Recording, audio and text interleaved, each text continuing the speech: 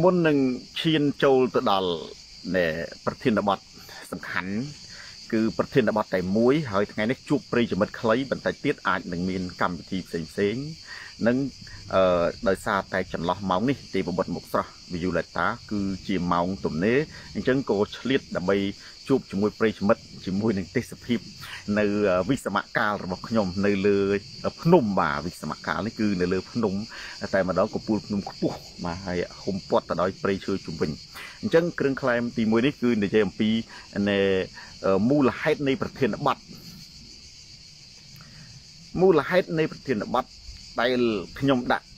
ចំណងជើងថាតើហ៊ុនសែនរត់ទៅណាបេះដូងកូនខ្មែរពីព្រោះ នៅពេលវិសមកាលនេះគឺបងប្អូនគណៈបកសង្គ្រោះជាតិរៅវឌីស៊ីសវណ្ណមកពីគ្រប់ច្រកលហកមិនតែបងប្អូនដែលជាសកម្មជនទេសែមវិទ្យារី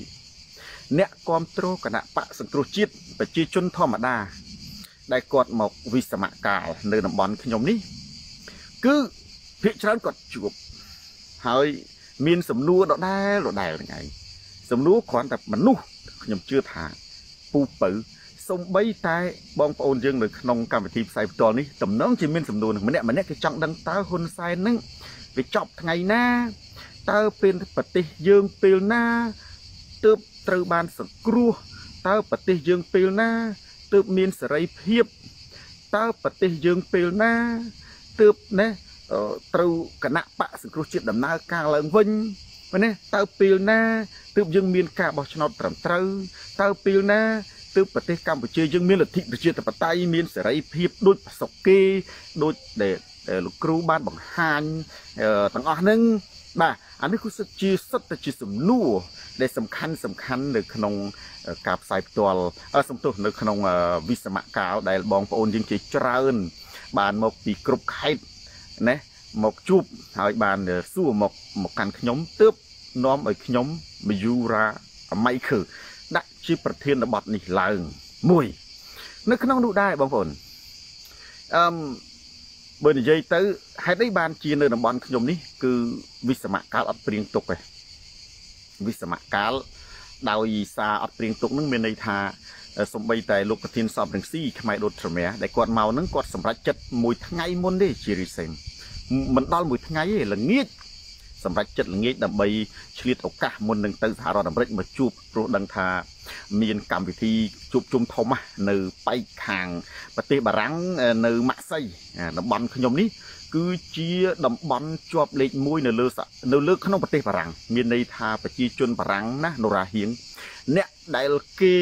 រកស៊ីអ្នកដែលគេធ្វើការជន់ជាតិបារាំងទាំងអស់ហ្នឹងគេសុបិនឃើញទឹកដីដែលខ្ញុំកំពុងតែនៅនេះគឺជា ត្រាយូទឹកដីល្អសម្រាប់ប្រទេសបារាំងមូលហេតុអីអាកាសធាតុនិងទេសភាពដោយសារតែស្រុកនេះគេឲ្យតម្លៃទៅលើសមុទ្រហើយនិងព្រៃឈើសំណានស្រីភ្នំនៅតំបន់ខ្ញុំនេះដូចជាបងប្អូនអ្នកនៅស្រុកបារាំងអ្នកណាក៏ក៏មកដែរគឺមានម៉ាក់សៃវ៉ាន់ភិរមមាននីសមានកានកានដែលខ្ញុំធ្លាប់ប្រាប់ហើយនៅលើសកលលោកហ្នឹងកានគឺជាកន្លែងមហោស្រពភាពយន្តអន្តរជាតិដែលល្បីជាងគេបំផុតនៅលើពិភពលោក Hollywood ណាគ្រាន់តែជាក្រុមហ៊ុនផលិតភាពយន្តទេអាចារ្យលក្ខប៉ុន្តែកានហ្នឹងគឺជាកន្លែងដែលមហោស្រពភាពយន្តអន្តរជាតិមកណាទូគុណអូស្ការណាក៏ត្រូវតែមកហ្នឹងណាអញ្ចឹងនៅតំបន់ខ្ញុំនេះគេហៅថាតំបន់ប្រជុំភ្នំអញ្ចឹងបានជាព្រៃចមិតមើលឃើញសម្បូរទៅដោយបេតិកភណ្ឌធម្មជាតិអន្តពិភពលោកកាលខ្ញុំទៅបឹងក៏បានផ្សាយផ្ទាល់នឹងសុទ្ធតែជាតំបន់បេតិកភណ្ឌ ពិភពលោកធម្មជាតិហៅបេតិកភណ្ឌធម្មជាតិគឺនៅតំបន់នេះច្រើនជាងគេបាទណាគឺមានបឹងមានសមុទ្រមានចលងភ្នំមានអីយ៉ាងទៅហើយមនុស្សម្នាក់ម្នាក់នឹងសម្រុកហើយវាលនៅក្រុងប៉ារីនៅប៉ែកខាងនេះគឺមកឲ្យដោយសារតំបន់នេះជាទូទៅបានវាអស្ចារ្យជាតំបន់សមុទ្រហើយវាក្តៅព្រោះស្រុកស្រុកអឺរ៉ុបគឺស្រុកក្រក្តៅអញ្ចឹងដល់ពេលណាដែលវាក្តៅគឺជាស្រុកអាកាសធាតុអស្ចារ្យទេសភាពទិដ្ឋភាពអស្ចារ្យដែរអញ្ចឹងហើយបានជាមានហេតុមកខ្ញុំនិយាយចឹងប៉ុណ្ណេះចេះចំណានស្រី នេះបាទតែខ្ញុំនិយាយចឹងពីព្រោះមានបងប្អូនយើងមួយចំនួន ពេលដែលយើងធ្វើកម្មវិធីហើយដែលលោកប្រធានសំរងស៊ីគាត់មកហ្នឹងគឺគាត់បានមកដល់មុនណាមកដល់មុនខ្ញុំអីហើយដោយសារតែគេមកវិសមកាលនៅចិត្តចិត្តនឹងដែរនៅជីចម្ងាយ1ម៉ោងខ្លះជីចម្ងាយកន្លះម៉ោងខ្លះជិះចម្ងាយ2ម៉ោងអញ្ចឹង2ម៉ោងដូចឆ្ងាយម្ដងទេបាទមានលើលេស្ទះផ្លូវអញ្ចឹងទៅអញ្ចឹងបានជាវេទិកាហ្នឹង ណាមកជួបជុំគ្នាតែម្ដងមេងគង់ពីរហើយដូច្នេះបានជានាំឲ្យមានប្រធានបទនេះកើតឡើងប្រធានបទហ្នឹងគឺកើតចេញអំពីការសន្ទនាហើយបន្តិចទៀតខ្ញុំនឹងជម្រាបជូនប្រិយមិត្តថាតើហ៊ុនសែនរត់ទៅច្រកណាហ៊ុនសែនមានច្រកតែមួយគត់ស៊ីណាកូនខ្មែរហ្នឹងនេះអត់មានច្រកច្រើនទេណែអញ្ចឹងអានេះគឺជាគ្រឿងក្លែមទី1ណែហែមធីវីគ្រឿងក្លែមទី2 ខ្ញុំថ្ងៃនេះ បានបង្ហោះអត្ថបទមួយឆ្លើយតបទៅនឹងណាមិត្ត CPP ដោយពួកគេច្រើនតែនិយាយដដែលដដែលការការរុំហើយការឆ្លើយតបរបស់ខ្ញុំរៀងផ្សេងផ្សេងគ្នាមិនសូវដដែលព្រោះវាអត់សូវមានការជាប់នេះទេប្រិយមិត្តធីចន្ទរារាមាអាចទៅមើលនៅក្នុងនៃ page ឬក៏ទំព័រ Facebook របស់ខ្ញុំដែលសរសេរអំពីថាតើគេថាសំរងស៊ីមួយជាតិនេះទឹកឆយឈ្នះក្នុងចិត្តបរិគេនិយាយវែងណាប៉ុន្តែខ្ញុំលើកមកចំណុចខ្លីហើយសំខាន់លើសរសេរនៅក្នុងអត្ថបទនេះហើយគេថាអ្នកស្ដាប់សូនតារាអ្នកឯងហ៊ានភ្នាល់ទេ គេភ្នាល់ដាក់ជីវិតបើសំរងស៊ីជាតិនេះអត់ឈ្នះហ៊ុនសែននេះជាតិក្រោយក៏កុសលប៉ែនមិនឈ្នះហ៊ុនសែននេះនៅតែមិនមិនកាន់អំណាចចឹងខ្ញុំក៏ឆ្លើយតបទៅវិញខ្ញុំថាខ្ញុំក៏ហ៊ានភ្នាល់ដែរថាមួយជាតិនេះហ៊ុនសែនខ្លាចសំរងស៊ីអស់មួយជីវិតបើទោះបីជាមែនទេ ហ៊ុនសែនគាត់ប្រកួតឲ្យតែហ៊ុនសែនមានការប្រកួតត្រឹមត្រូវមែនទេអានឹងគឺដាច់ខាត់ត្រូវតែចាញ់សំរងស៊ីហើយ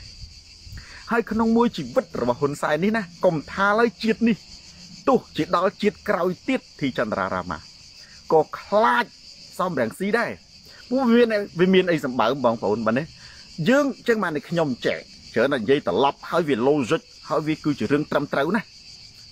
មានន័យថាម៉េចមានន័យថាគណៈបកប្រជាជននេះគេចេះថាចេះតែបក់ដៃហៅសូនតារានេះអាប់ឌុលកាឌីស៊ូឡាម៉ានប៉ុន្តែសូនតារាជួយកបក់ដៃហៅវិញសំទោសបងប្អូនមានកន្លែងខ្លះប្រឡោះថ្ងៃមកចេញចំោះព្រោះនៅមុខខ្ញុំនេះគឺទេសភាពបាទទេសភាពបងប្អូនណាបាទហើយនៅខាងក្រោយខ្នងខ្ញុំនេះក៏ទេសភាពដែរចាំងភ្លើងបងប្អូនមើលទៅផ្លូវចុះនៅក្រោមភ្នំដាច់កន្ទុយភ្នែកនេះគិងហឹងខ្ញុំសូនតារាទេខ្ញុំបក់ដៃវិញមិន គេថាបើសូនតារាខ្លាំងណាស់ចូលស្រុកមកបាទទីបបុតមុខស្រស់ខ្ញុំនិយាយថាអា ចូលស្រុកចង់ចូលថ្ងៃណាក៏បានដែរទី1មែនទេខ្ញុំឈប់ធ្វើសកម្មភាព ទី2ខ្ញុំចុះចូលជាមួយគណៈបកប្រជាជនមួយថ្ងៃស្មើនឹងអ្នកធ្វើការនៅក្នុងគណៈបកប្រជាជននឹង40ឆ្នាំតាប្រំប្រៃទី3ខ្ញុំជេរសំរស៊ីចូលស្រុកបានតែអត់មានលំបាកទេថាមួយទៀតចុះទី4ខ្ញុំទៅបង្កើតគណៈបកណា អាយ៉ងហ៊ុនសែនស៊ីលុយហ៊ុនសែនណាអានឹងក៏ខ្ញុំចូលស្រុកបានដែរឬក៏ខ្ញុំមិនសុកចិត្តចឹងទេខ្ញុំចូលស្រុកឲ្យហ៊ុនសែនចាប់ដាក់គុកក៏បានដែរគ្រាន់តែសួរថាបើខ្ញុំចូលស្រុកវារឿងធម្មតាទេនេះប៉ុន្តែសំខាន់ហ៊ុនសែននឹងមកចាប់សូនតារាបានអត់ច័ន្ទបញ្ញាព្រោះគិតតែពីអង្គុយបក់ដៃហៅអូខេឥឡូវខ្ញុំបក់ដៃវិញមើលដូចที่ខ្ញុំនិយាយខាងដើមហ្នឹងខ្ញុំថារឿងខ្ញុំចូលស្រុក ចូលពេលណាក៏បាន ចូលស្អែកក៏បាន ចូលខានស្អែកក៏បានវាអត់មានអីខ្លាំងទេពីព្រោះបើខ្ញុំចូលទៅផលខេនហ៊ុនសែនចាប់ហ៊ុនសែនមានអីចាប់ខ្លាំងខ្ញុំចូលឲ្យចាប់ពីតើបើខ្ញុំមិនចូលហ៊ុនសែនចាប់មកមួយជីវិតនេះហ៊ុនសែនមិនអាចចាប់ខ្ញុំបានទេបើខ្ញុំចូលទៅ មានន័យថាហ៊ុនសែនចាប់បើក្រសួងខ្មែរចាប់មានន័យខ្លាំងអញ្ចឹងចេះបានតែខ្ញុំបក់ដៃហៅវិញខ្ញុំថាអើ ឥឡូវហ៊ុនសែនណាមកចាប់សូនតារាដល់ស្រុកបារាំងអាហ្នឹងបានគេហៅថាអ្នកខ្លាំងខ្ញុំកំពុងអង្គុយនិយាយនេះមានមីណាមានអង្គរៈអីផងមើលជុំវិញនេះតែឯងម្នាក់ឯងគត់ម៉ៃគីស៊ូអត់មានអ្នកណាមកក្បែរទេអញ្ចឹងឥឡូវបើចង់មកចាប់សូនតារាចាប់បានសរុបសេចក្តីមកខ្ញុំបកដៃហៅវិញហាណាហ្វីអាខ្លួនឯងនឹងប៉កែខាងហៅគេចូលស្រុកងាប់ហើយໄວមកសុកខ្មែរបើហ៊ុនសែនចាប់មាននេះសម្បើមខ្លួនឯងមានរត់ ក្រោះមានកងទ័ពពេញដៃហើយទៅចាប់មនុស្សមួយដែលអត់មានអីសោះនេះពាត់ផ្ទះហែងតឹងយប់មនុស្សម្នាក់ឯងអាហ្នឹងវាមានឯសម្បើមអញ្ចឹងបានទៅត្រឡប់មកទៅនេះវិញសួងឈៀនបានតែខ្ញុំនិយាយថាចេះតែនិយាយរឿងបក់ដៃហៅគេណែនេះឥឡូវខ្ញុំបក់ដៃហៅវិញតែខ្ញុំផ្ដាំគណៈបកប្រជាជនអ្នកណាខ្លាំងបើចាប់សនរាមកអមិនចឹងបងប្អូនរបស់ខ្ញុំទៅដល់ស្រុកខ្មែរមានអីខ្លាំងឯសានតតៃហ៎ ពួកខ្ញុំទៅដល់ស្រុកខ្មែរដូចខ្ញុំចូលទៅចាប់ហ្នឹងខ្ញុំដៃទៅទេហ្នឹងអាហ្នឹងសេងឡៃស្ទឹងត្រែងវាអត់មានអស់ចាឥឡូវវាត្រឡប់ទៅនេះវាដូចគ្នាដែរគេថាសំរងស៊ីមួយជីវិតនេះណាអត់ឈ្នះហ៊ុនសែនអត់កាន់អំណាចទេអាហ្នឹងវារឿងផ្ទុយប៉ុន្តែយើងត្រូវផ្ទុយថាអញ្ចេះហ៊ុនសែនណាមួយជីវិតនេះរហូតដល់ជាតិក្រោយក៏ដោយខ្លាចសំរងស៊ីមួយជីវិតណាហើយជាតិក្រោយក៏ខ្លាចសំរងស៊ីដែរ ហេតុអីបើហ៊ុនសែនខ្លាំងណាប្រកួតត្រឹមត្រូវជាមួយសំស៊ីហ៊ានមិនហ៊ានអើឌីកំជៀនឥឡូវខ្ញុំសួរតើចាយើងកុំគិតតែពីរឿងឈ្នះចាញ់បើសំរងស៊ីគាត់មានទៅប្រកួតគាត់មានប្រកួតបាញ់គ្នាមួយហ៊ុនសែននេះណាឆាត់សៀងហៃប៉ុន្តែបើសិនជាប្រកួតបញ្ញាឥឡូវវិញ្ញាសាអីសួរហ៊ុនសែនវិញ្ញាសាអីមកវិញ្ញាសាចាប់ដេញបាញ់គេចាប់គេដាក់គុកថាខ្លួនឯង មានក៏ភ្លើងមានខ្នោះពេញដែរមកវិញ្ញាសាហ្នឹងប្រកួតជាមួយតាលីបានទៅចុះឥឡូវឲ្យហ៊ុនសែនប្រកួតជាមួយតាលីបងហ៊ានមិនហ៊ានឥឡូវព្រោះចេះឯងអាគេប្រកួតបោះឆ្នោតឯងប្រកួតវិញ្ញាសាកាប់សម្លាប់ដេញចាប់គេដាក់គុកហើយអត់ចេះខ្មាស់គេទៀតណែខ្ញុំជម្រាបប្រាប់ប្រិយមិត្តថាអញ្ចេះរាវីគង់បើខ្ញុំជាគណៈបកដែលប្រជាជនណាហើយខ្ញុំទៅគ្រប់គ្រងហ៊ុនសែន មនុស្សថោកទាបណាខ្ញុំប្រាប់ហ៊ុនសែនគាត់មិនមែនថោកទាបទេគាត់អន់មែនទេគាត់ចាញ់សូនារាមិនចាំទៅប្រៀបធៀបដល់សំរងស៊ីទេខ្ញុំបើខ្ញុំជាអ្នកគ្រប់គ្រងគណៈបកប្រជាជនណាឲ្យតែគេស្គាល់ថាសូនារាគ្រប់គ្រងគណៈបកប្រជាជនខ្ញុំដើរដោះលីអូគ្រប់មុខបងប្អូនខ្ញុំយកលីអូពាក់មុខឲ្យចេញតែភ្នែកមែនទេបើឯងខ្លាំងបើខ្លាំងដូចតាលីបានបានគេហៅថាខ្លាំងវាយយកក្រុងកាបូលហើយឥឡូវនេះ ណាអារបៀបឥឡូវបានទីខ្ញុំទៅសួរសួរទៅគណៈបកប្រជាជនគេនិយាយចង្អុលមកគណៈបកប្រជាជនមើលឥឡូវខ្ញុំសួរគណៈបកប្រជាជននេះណែឯងទៅសួរហ៊ុនសែនហ៊ានប្រកួតត្រឹមត្រូវជាមួយសំរងស៊ីចង្អុលមុខម្ដងមើលពីនឹងអ្នកណាគេក្នុងនឹងខ្លះពេលក៏អន់អន់មែនហើយយេអាតាប់អាតុញព្រោះឯងបកកែរឿងខាងកាប់ចាក់គឺសំរងស៊ីបើគាត់កាប់ចាក់ដែរគាត់ចាំធ្វើអញ្ចឹងណា បើតែរេហ៊ុនសែននេះបន្ទូគាត់ស្កត់ខ្លាំងមែនគាត់ឈ្នះប៉ុលពតចិត្តជលសាបើឈ្នះហ៊ុនសែនទទួលស្គាល់តែឈ្នះប៉ុលពតគាត់ខ្លាំងហើយម៉េចប៉ុលពតមានកភ្លើងហ៊ុនសែនមានកភ្លើងដែរមកខ្លួនឯងនេះសំរងស៊ីអត់មានស្អីផងហ្នឹងអញ្ចឹងបានជាខ្ញុំថាអញ្ចេះគណៈបកប្រជាជនដែលមានបងប្អូនយើងខមមិនខមមិនក្នុងនេះគាត់ថាអើលោកគ្រូឡូសិចត្រូវមែនចេះតែនិយាយមួយម៉ាត់ហ្នឹងទៅគឺថាវាចំបដ ாய் មិនខ្ញុំខឹងពេកចេះតែជេរបចោរនឹកថាវាអត់ឃើញ គេថានេះសំរងស៊ីណាមួយជីវិតនេះណាមិនឈ្នះហ៊ុនសែនមិនកាន់អំណាចជាតិក្រោយក៏អត់ឈ្នះហ៊ុនសែនដែរបើតែខ្ញុំសូនតារានិយាយថាអញ្ចឹងវិញគេថាមកជីវិតនេះណាហ៊ុនសែនខ្លាចសំរងស៊ីណាហើយជាតិក្រោយក៏នៅតែខ្លាចសំរងស៊ីដែរបើហ៊ុនសែនមិនខ្លាចសំរងស៊ីប្រកួតបោះឆ្នោតត្រឹមត្រូវប្រកួតស្អែកហើយលើខ្ញុំសួរអ្នកបងប្អូនគណៈបកប្រជាជនហ៊ុនសែនខ្លាំងរឿងអីហ៎ហើយបើថាខ្លាំងអញ្ចឹងណា ឥឡូវឲ្យហ៊ុនសែនឲ្យកងទ័ពមកសូនតារាមកឲ្យកងទ័ពមកសូនតារាទាំងអស់ឲ្យកម្លាំងទ័ពមកសូនតារាទាំងអស់ហើយហ៊ុនសែនណានៅខ្ទមមួយមកខ្ញុំកាន់កាន់កម្លាំងទ័ពកាន់នយោបាយសុខពីមួយហើយចាំមើលតើហ៊ុនសែនលេងជាមួយសូនតារាបានអត់ស្គួតពភ្លីពភ្លើលលេលលើដូចឡានអត់លេខអញ្ចឹងបានតែខ្ញុំច្រើនតែបកបងប្អូនណាច្រើនតែបកវិញរឿងគណៈបកប្រជាជននឹងនិយាយមកគឺរឹបស្គួតតែម្ដងបាទណា ហើយគេប្រកួតបោះឆ្នោតឬសំរងស៊ីគាត់មានកភ្លើងអីគាត់បាទណាអាអញ្ចឹងអាកន្លែងនេះគ្រឿងខ្លែមនេះបងប្អូនណាសំខាន់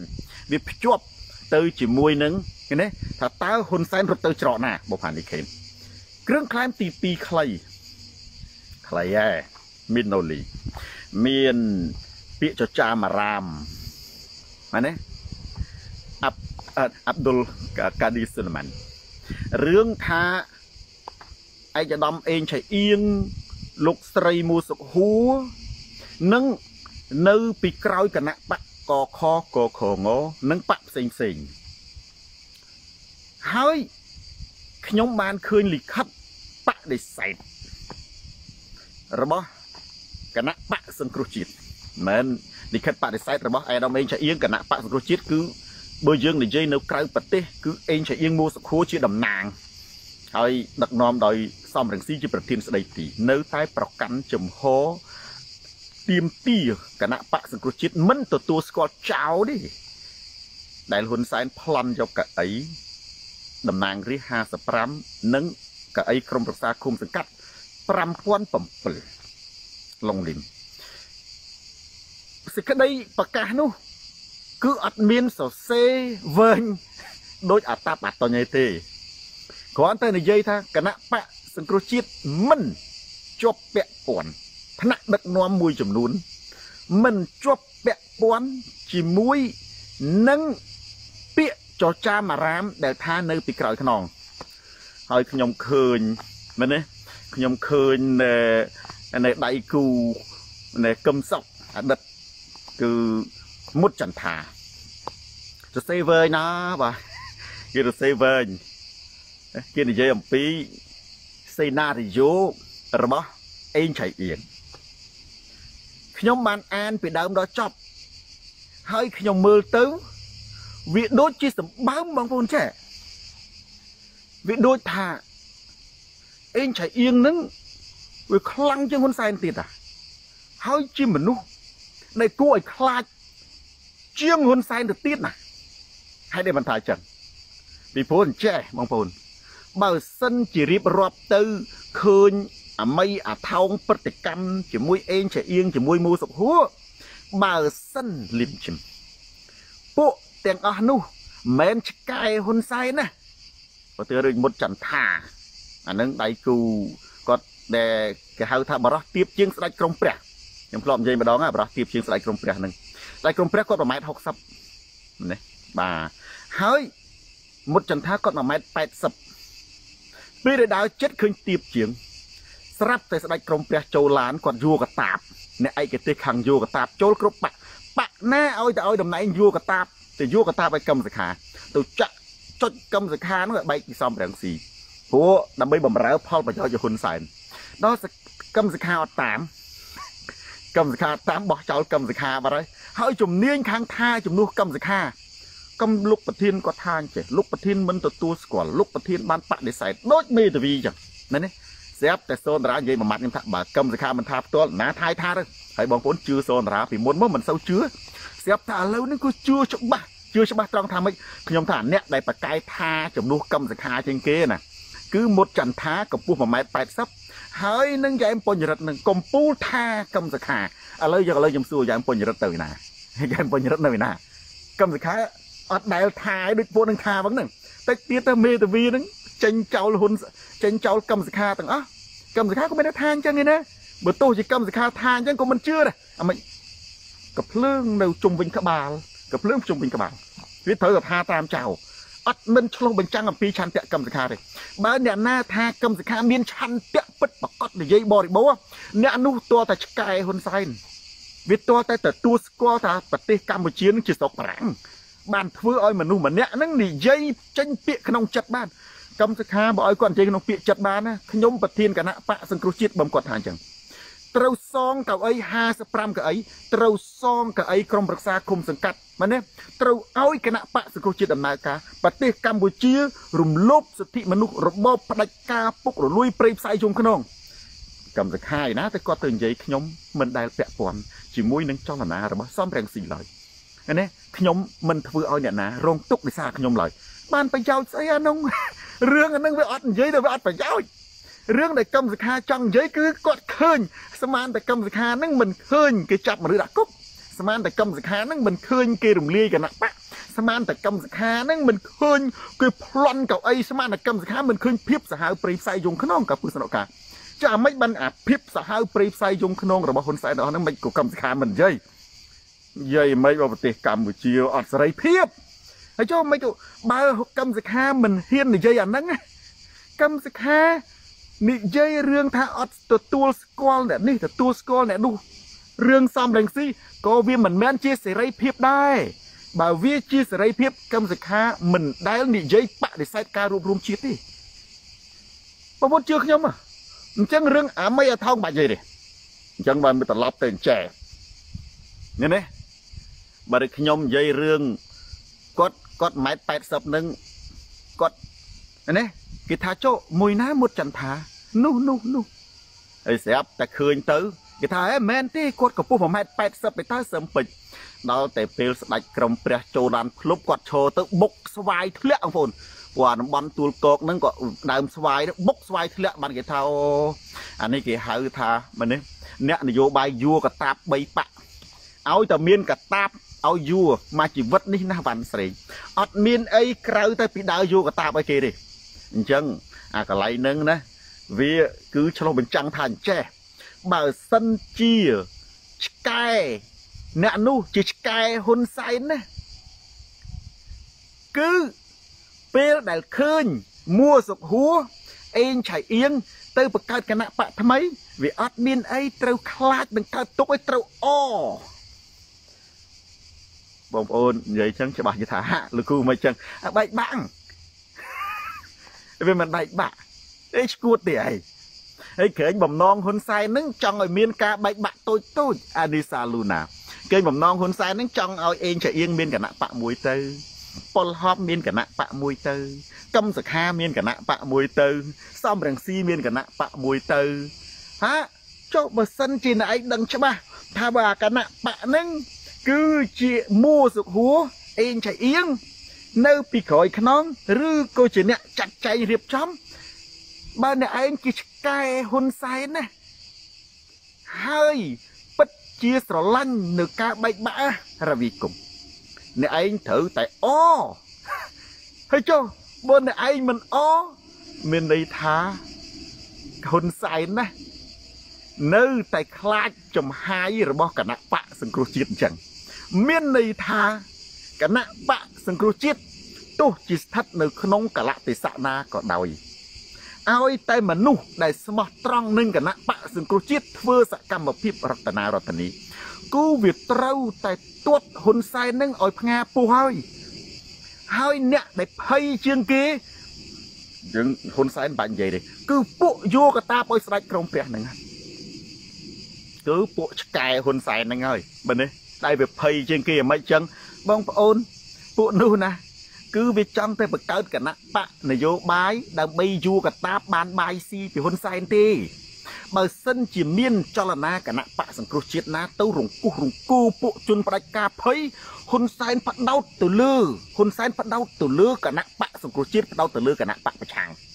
អញ្ចឹងគេត្រូវបោះបង់ចោលមុតចន្ទថានឹងគេហៅថាអាចគោឡានកិនទេតើ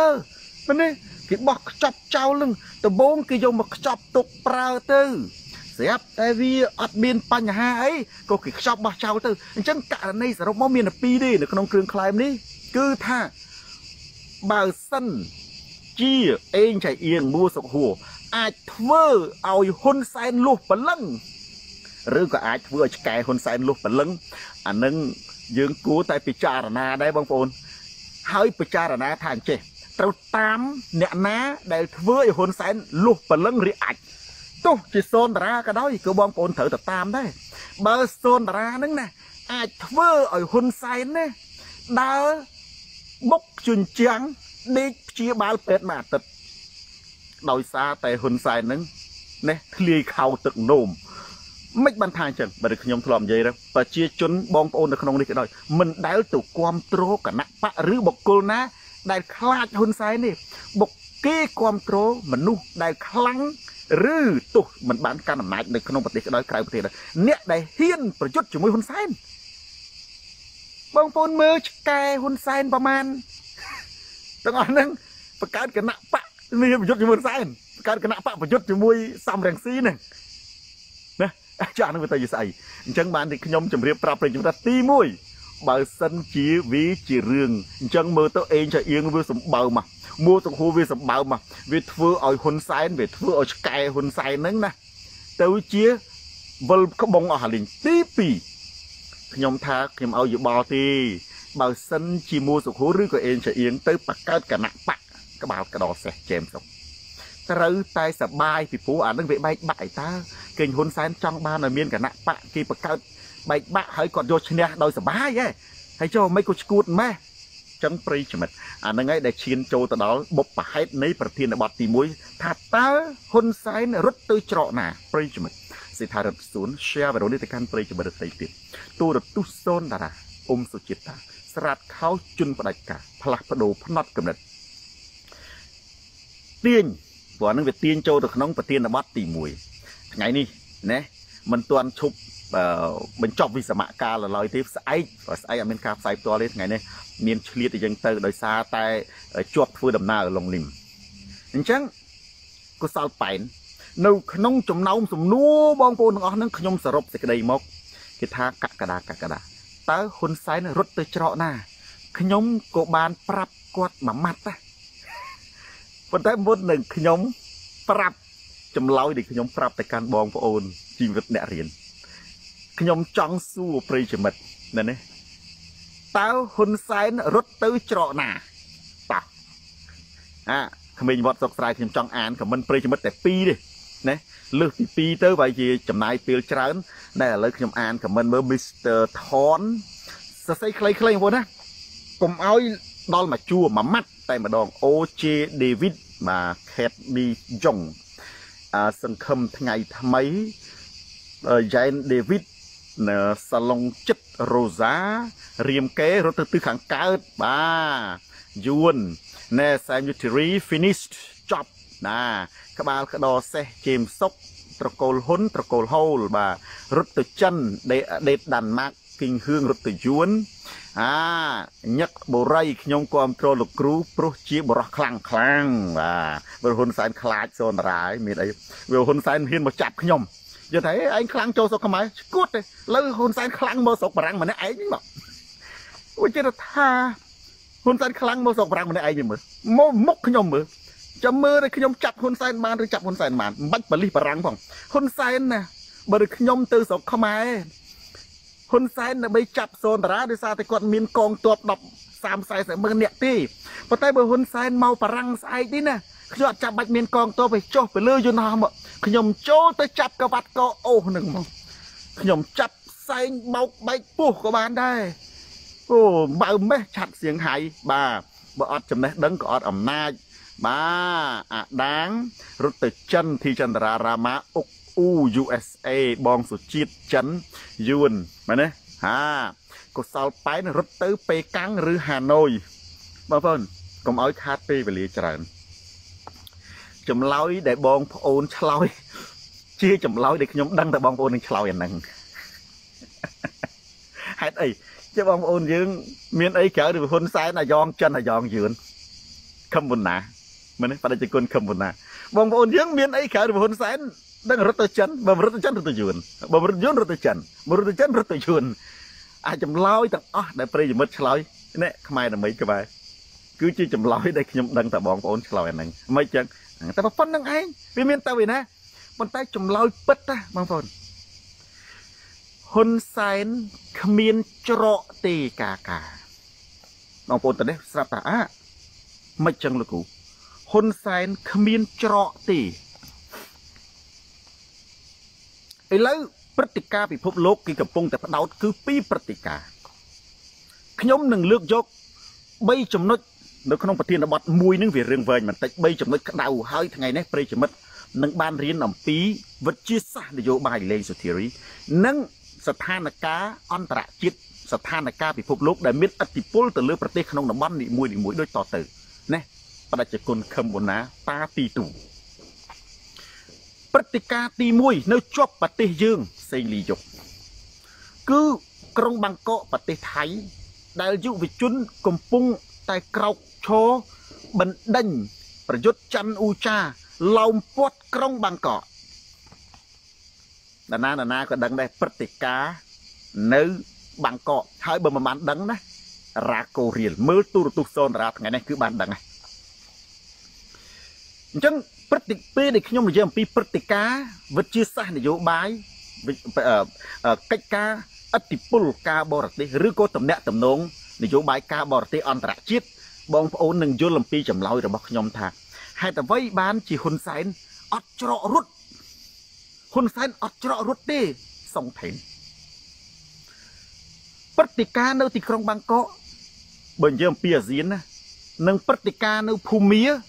វានឹងคล้ายទៅជាខ្សែមួយដែលចងរឹតបន្តឹងចលនាមហាជន ចលនាប្រជាជនឲ្យវាកាន់តែតឹងរឹងមាំ ប្រិយមិត្តយើងបដិញតទៀតនៅពេលណាដែលចលនានៅថៃនិងចលនានៅភូមិលបើកនងសុបញ្ញានៅក្នុងប្រទេសកម្ពុជា មានន័យថាវាទៅតែលបើកពួកអតិពលនឹងវាចាស់ពួកនៅក្នុងតំបន់អាស៊ានណាគឺប្រទេសទាំងអស់សុទ្ធតែកាន់របបផ្ដាច់ការស្ទើរតែទាំងអស់មានប្រជាប្រជាធិបតេយ្យតិចណាឥណ្ឌូនេស៊ីល្អជាងគេនៅតំបន់អាស៊ានហើយបន្ទាប់មកម៉ាឡេស៊ីសិង្ហបុរី3ប្រទេសហ្នឹង ក្រៅប៉ុណ្្នឹងគឺវាមានលក្ខណៈប្រជាធិបតេយ្យខ្លះមានលក្ខណៈផ្ដាច់ការខ្លះអញ្ចឹងបើសិនជាមីនណូលីឲ្យតែស្ថានភាពនៅប្រទេសថៃនិងស្ថានភាពនៅភូមិវាស្រាយនៅប្រទេសកម្ពុជាទោះជាមិនស្រាយក៏ខ្សែវាធូរដោយស្វ័យប្រវត្តិសំណួរបងប្អូនច្បាស់ជាថាចេះសវណ្ណរាចិនហើយចុះបើហ៊ុនសែនមិនបធូមិនបធូចងកងងាប់កពឹសនុកា ព្រោះហ៊ុនសែនគាត់កេងចំណេញអំពីស្ថានភាពនយោបាយអន្តរជាតិស្ថានភាពនយោបាយអន្តរជាតិជួយឲ្យរបបហ៊ុនសែនឈរជើងបាន ដោយសារអីដោយសារនៅពេលណា ស្ថានភាពនយោបាយអន្តរជាតិវាផ្ដោតទៅលើទិសដៅណាមួយវានាំឲ្យទណ្ឌកម្មទៅលើជនផ្ដាច់ការស៊ីថេតច័ន្ទខ្សោយពីព្រោះគេអត់ផ្ដោតទៅលើអានោះ គេអត់ផ្ដោតទៅលើអានឹងទេប៉ូឡាគីអញ្ចឹងពេលដែលស្ថានភាពអន្តរជាតិផ្ដោតទៅលើអីមួយធំ វាធ្វើឲ្យគេទុកអារឿងតូចតូចមួយចំណែករឿងតូចតូចដូចជាស្ថានភាពនៅកម្ពុជាវាអត់មានផលចំណេញទេទៅដល់អឺរ៉ុបទៅដល់បារាំងទៅដល់អឺរ៉ុបខ្លាំងទេវាអត់មានភាពផលចំណេញទៅដល់អាមេរិកខ្លាំងទេវាអត់មានផ្ដល់ផលប្រយោជន៍ទៅដល់ប្រទេសអន្តរជាតិពួកប្រជាធិបតេយ្យមហាអំណាចវាគិតអំពីផលប្រយោជន៍នៃប្រទេស អានឹងយើងត្រូវទទួលស្គាល់ការពិតនយោបាយគ្មានមិត្តគ្មានសត្រូវគឺមានតែផ្ដល់ផលចំណេញអញ្ចឹងពេលហ្នឹងគេគ្រាន់តែក្អក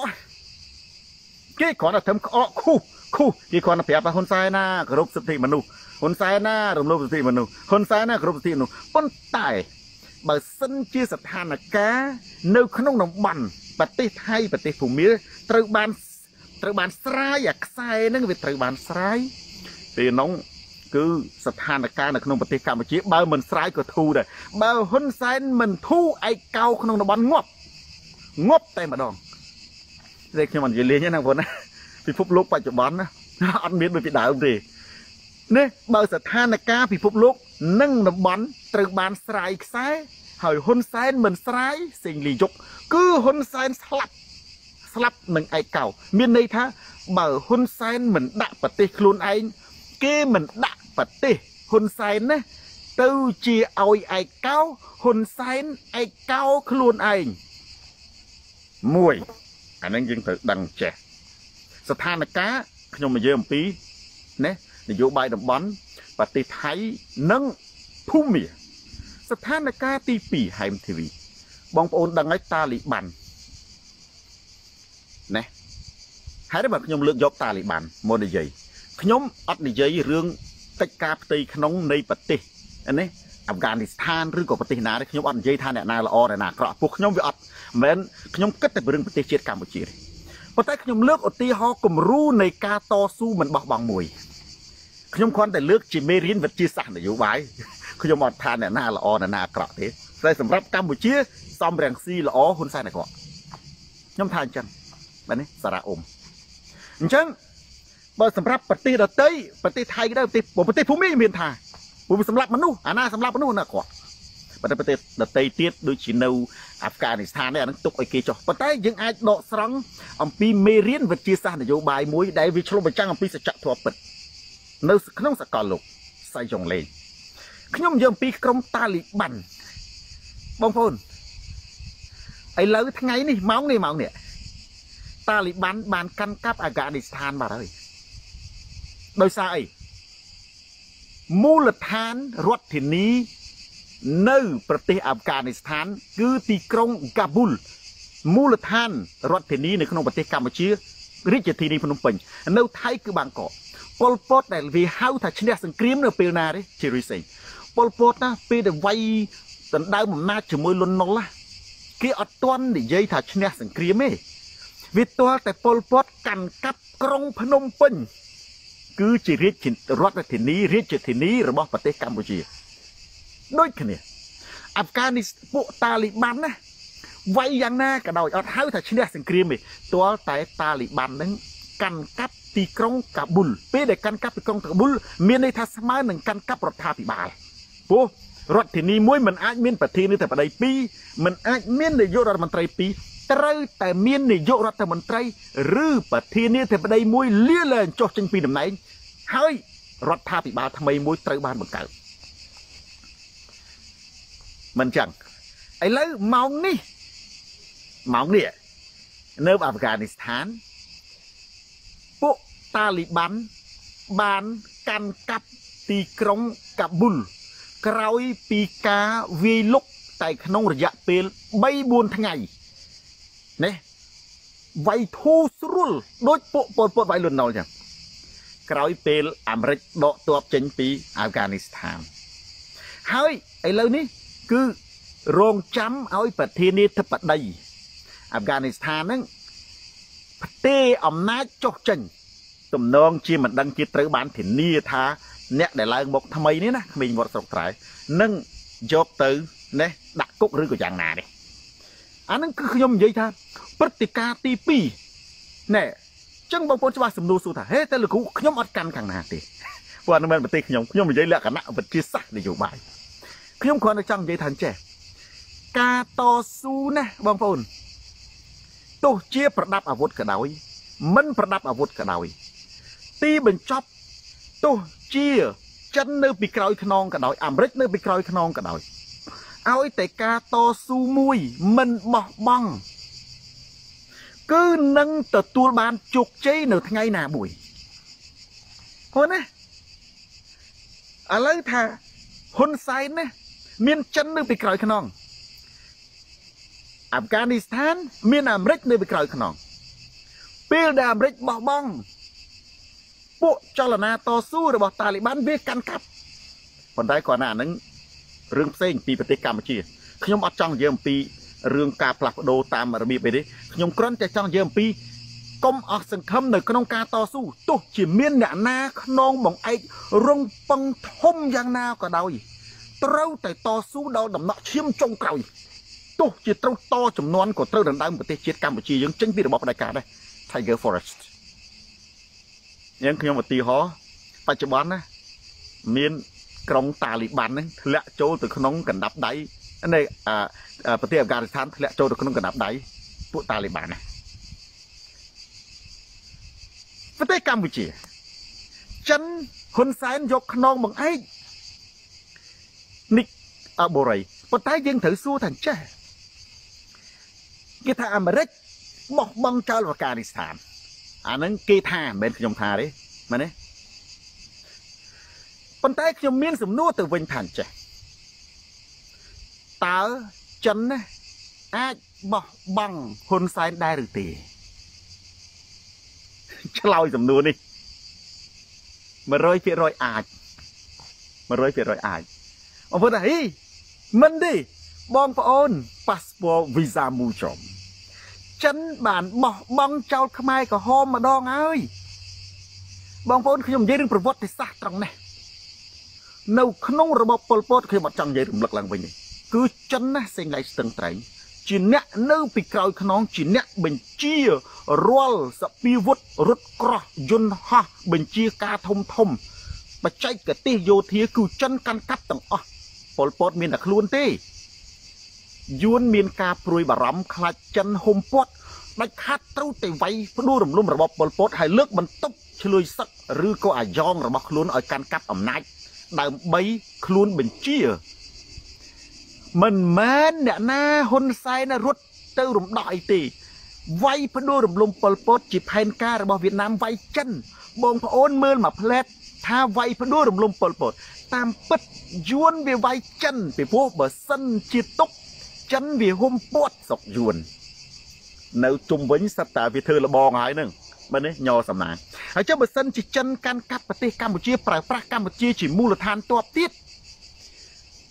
អានឹងវាយួនវាងាប់ហើយវាមិនតប៉ែតហើយវាចិនជុំវិញហ្នឹងព្រោះចិនវាវាសត្រូវជាមួយយួនវាខំគ្នាវាយួនវាមិនងាប់អញ្ចឹងត្រូវធ្វើម៉េចយួនដាច់ខាតមិនអាចទុកឲ្យចិននៅពាត់ជុំវិញខ្លួនបានទេត្រូវតែវាយពលពត ដើម្បីដណ្ដើមយកទឹកដីកម្ពុជាមកកាន់កាប់ឬក៏មកដាក់ជាចំណុះអាណានិគមវិញអាស្រ័យនេះជាអាយ៉ងវិញបងប្អូនខ្ញុំនិយាយចឹងណាអ្នកដែលមិនដែលអានប្រវត្តិសាស្ត្រមើលខួរក្បាលខួរក្បាលកថារបស់គណៈបកប្រជាជន គេឲ្យយើងមើលតែលេខ7ទេពូសវណ្ណា គឺ7មករាយើងអត់មើលអីផ្សេងពីហ្នឹងគេឲ្យយើងដឹងគុណសុភ័ក្រសុភ័ក្រថ្វាយបង្គំ7មករាហ្នឹង ប៉ុន្តែអត់ទេណាបងប្អូនខ្ញុំនិយាយរឿងប្រវត្តិសាស្ត្រមួយដែលបងប្អូនដឹងឬម្នាក់ដឹងគេដឹងអ្នកមិនដឹងនៅពេលដែលយួនវាយអញ្ចឹងបានខ្ញុំនិយាយត្រឡប់ទៅដើមវិញខ្មែរក្រហមវាយឈ្នះកពឹកសនុកាបើមិនកាន់កាប់ក្រុងភ្នំពេញគេអត់ទាន់ហៅឈ្នះទេអញ្ចឹងពួកតាលីបានដូចគ្នាបើមិនបានកាន់កាប់រាជធានីកាប៊ុលក៏អត់ទាន់ឈ្នះដូចគ្នាយួនណាវាហៅថាវាយផ្ដួលរំលំរបបខ្មែរក្រហមបានគឺពេលណាពេលដែលវាកាន់កាប់ក្រុងភ្នំពេញ 7មករាមានន័យថាបែកក្រុងភ្នំពេញវាយកាន់កាប់រាជធានីភ្នំពេញបង្កើតរដ្ឋាភិបាលមួយថ្មីគឺមានប៉ែនសវណ្ណច័ន្ទស៊ីនេះកៅចិន្តាហ៊ុនសែននៅទូចនៅក្រោយខ្នងគេហ៎នេះហ៊ុនសែនទូចទៅក្រោយខ្នងតែថាយួនប្រើអ្នកមុនមុននឹងវាអត់បានបានប្រើហ៊ុនសែនដល់តែប្រើហ៊ុនសែនហ៊ុនសែនទៅសេវត្តសាស្ត្រថាអញអារំដោះជាតិដោះជាតិអីគេយួនប្រើទាំងអស់នេះ គាត់ថាគាត់បំរើយួនបានល្អជាងគេយួនទុករហូតមកទល់បច្ចុប្បន្នអត់ចាក់ថ្នាំឬយកទៅដាក់គុកតែប៉ុណ្្នឹងថាគ្មានទៅរំដោះរំដោស្អីទេប្រវត្តិសាស្ត្រគាត់សារភាពហើយប្រវត្តិសាស្ត្រសរសេរដូចឈ្នះអើបើគាត់ឈ្នះគាត់ឆ្លាក់រូបស្ដេចកនមុខដូចគាត់អីហ្នឹងជីសេះមកខ្ញុំថាចូលមកណាមើមដៃមកស្ដេចកនមុខដូចហ៊ុនសែនយោឈួតដូចឈួតមិនចំនួនហ្នឹងមិនដែលឃើញស្ដេចកនឯណាហ៎អីអានេះខ្ញុំនិយាយរឿងខ្ញុំនិយាយរឿងនឹងមួយបងប្អូនពេលដែលយួនវាយកាន់កាប់ក្រុងភ្នំពេញ ចិនបានប្រមានយួនភ្លាមដកភ្លាមយួនអត់ដកមិនយួនវាខំវាយអស់តបអស់លុយខ្ចីលុយរុស្ស៊ីឥឡូវយួនណាពេលដែលវាយចូលប្រទេសកម្ពុជានៅជាពាក់រុស្ស៊ីឡើយទេមិនហ៊ុនសែននឹងមានអធិបុលទៅឲ្យយួនវាយប៉ុលពតទេព្រោះវាយវាយចូលប្រទេសមួយមួយណាមិនផ្លុំទេណាបងណាមិនផ្លុំដូចអ៊ូខុងណាមិនបក់ផ្លិតដូចស្ដាច់គោរឿងរឿងគ្រូខាងគេទេណាសុទ្ធតែប្រើជីវិត ប្រើលុយប្រើគ្រាប់ប្រើសេដ្ឋកិច្ចយួនវាយចូលប្រទេសកម្ពុជានឹងខ្ចីលុយរុស្ស៊ីនិងគ្រប់គ្រងពីរុស្ស៊ីឥឡូវនៅជាពាក់រុស្ស៊ីទៅឥឡូវឯតាហើយស៊ូហ៊ុនសែនមានអធិបុលអីឲ្យយួនទៅចំណាយកងទ័ពទៅខ្ចីលុយរុស្ស៊ីរាប់លានដុល្លាររាប់ពាន់លានដុល្លារមកវាយមកវាយប៉ុលពតដើម្បីយកអំណាចឲ្យហ៊ុនសែនហ៊ុនសែននឹងស្អីទឹកមាត់ស្អីអូយនិយាយចេះជាមួយសនរាសនរាស្រាតខោទៅអស់នេះហ៊ុនសែនគ្មានទឹកមាត់អីជាមួយយួន ហ៊ុនសែនមិនអាចប្រើយួនបានទេយួនប្រើហ៊ុនសែនបាននិយាយគ្នាច្បាស់អញ្ចេះបើក៏រំដោះស្អីគូនិយាយរំដោះរំដោះអត់មើលវត្តសោះពេលនោះណាចិនវាប្រាប់ថាដកយួនថាអញមិនដកចិនប្រាប់ពី3ដង លើកទី2ចិនប្រាប់ថាដកយួនវាថាអញមិនដក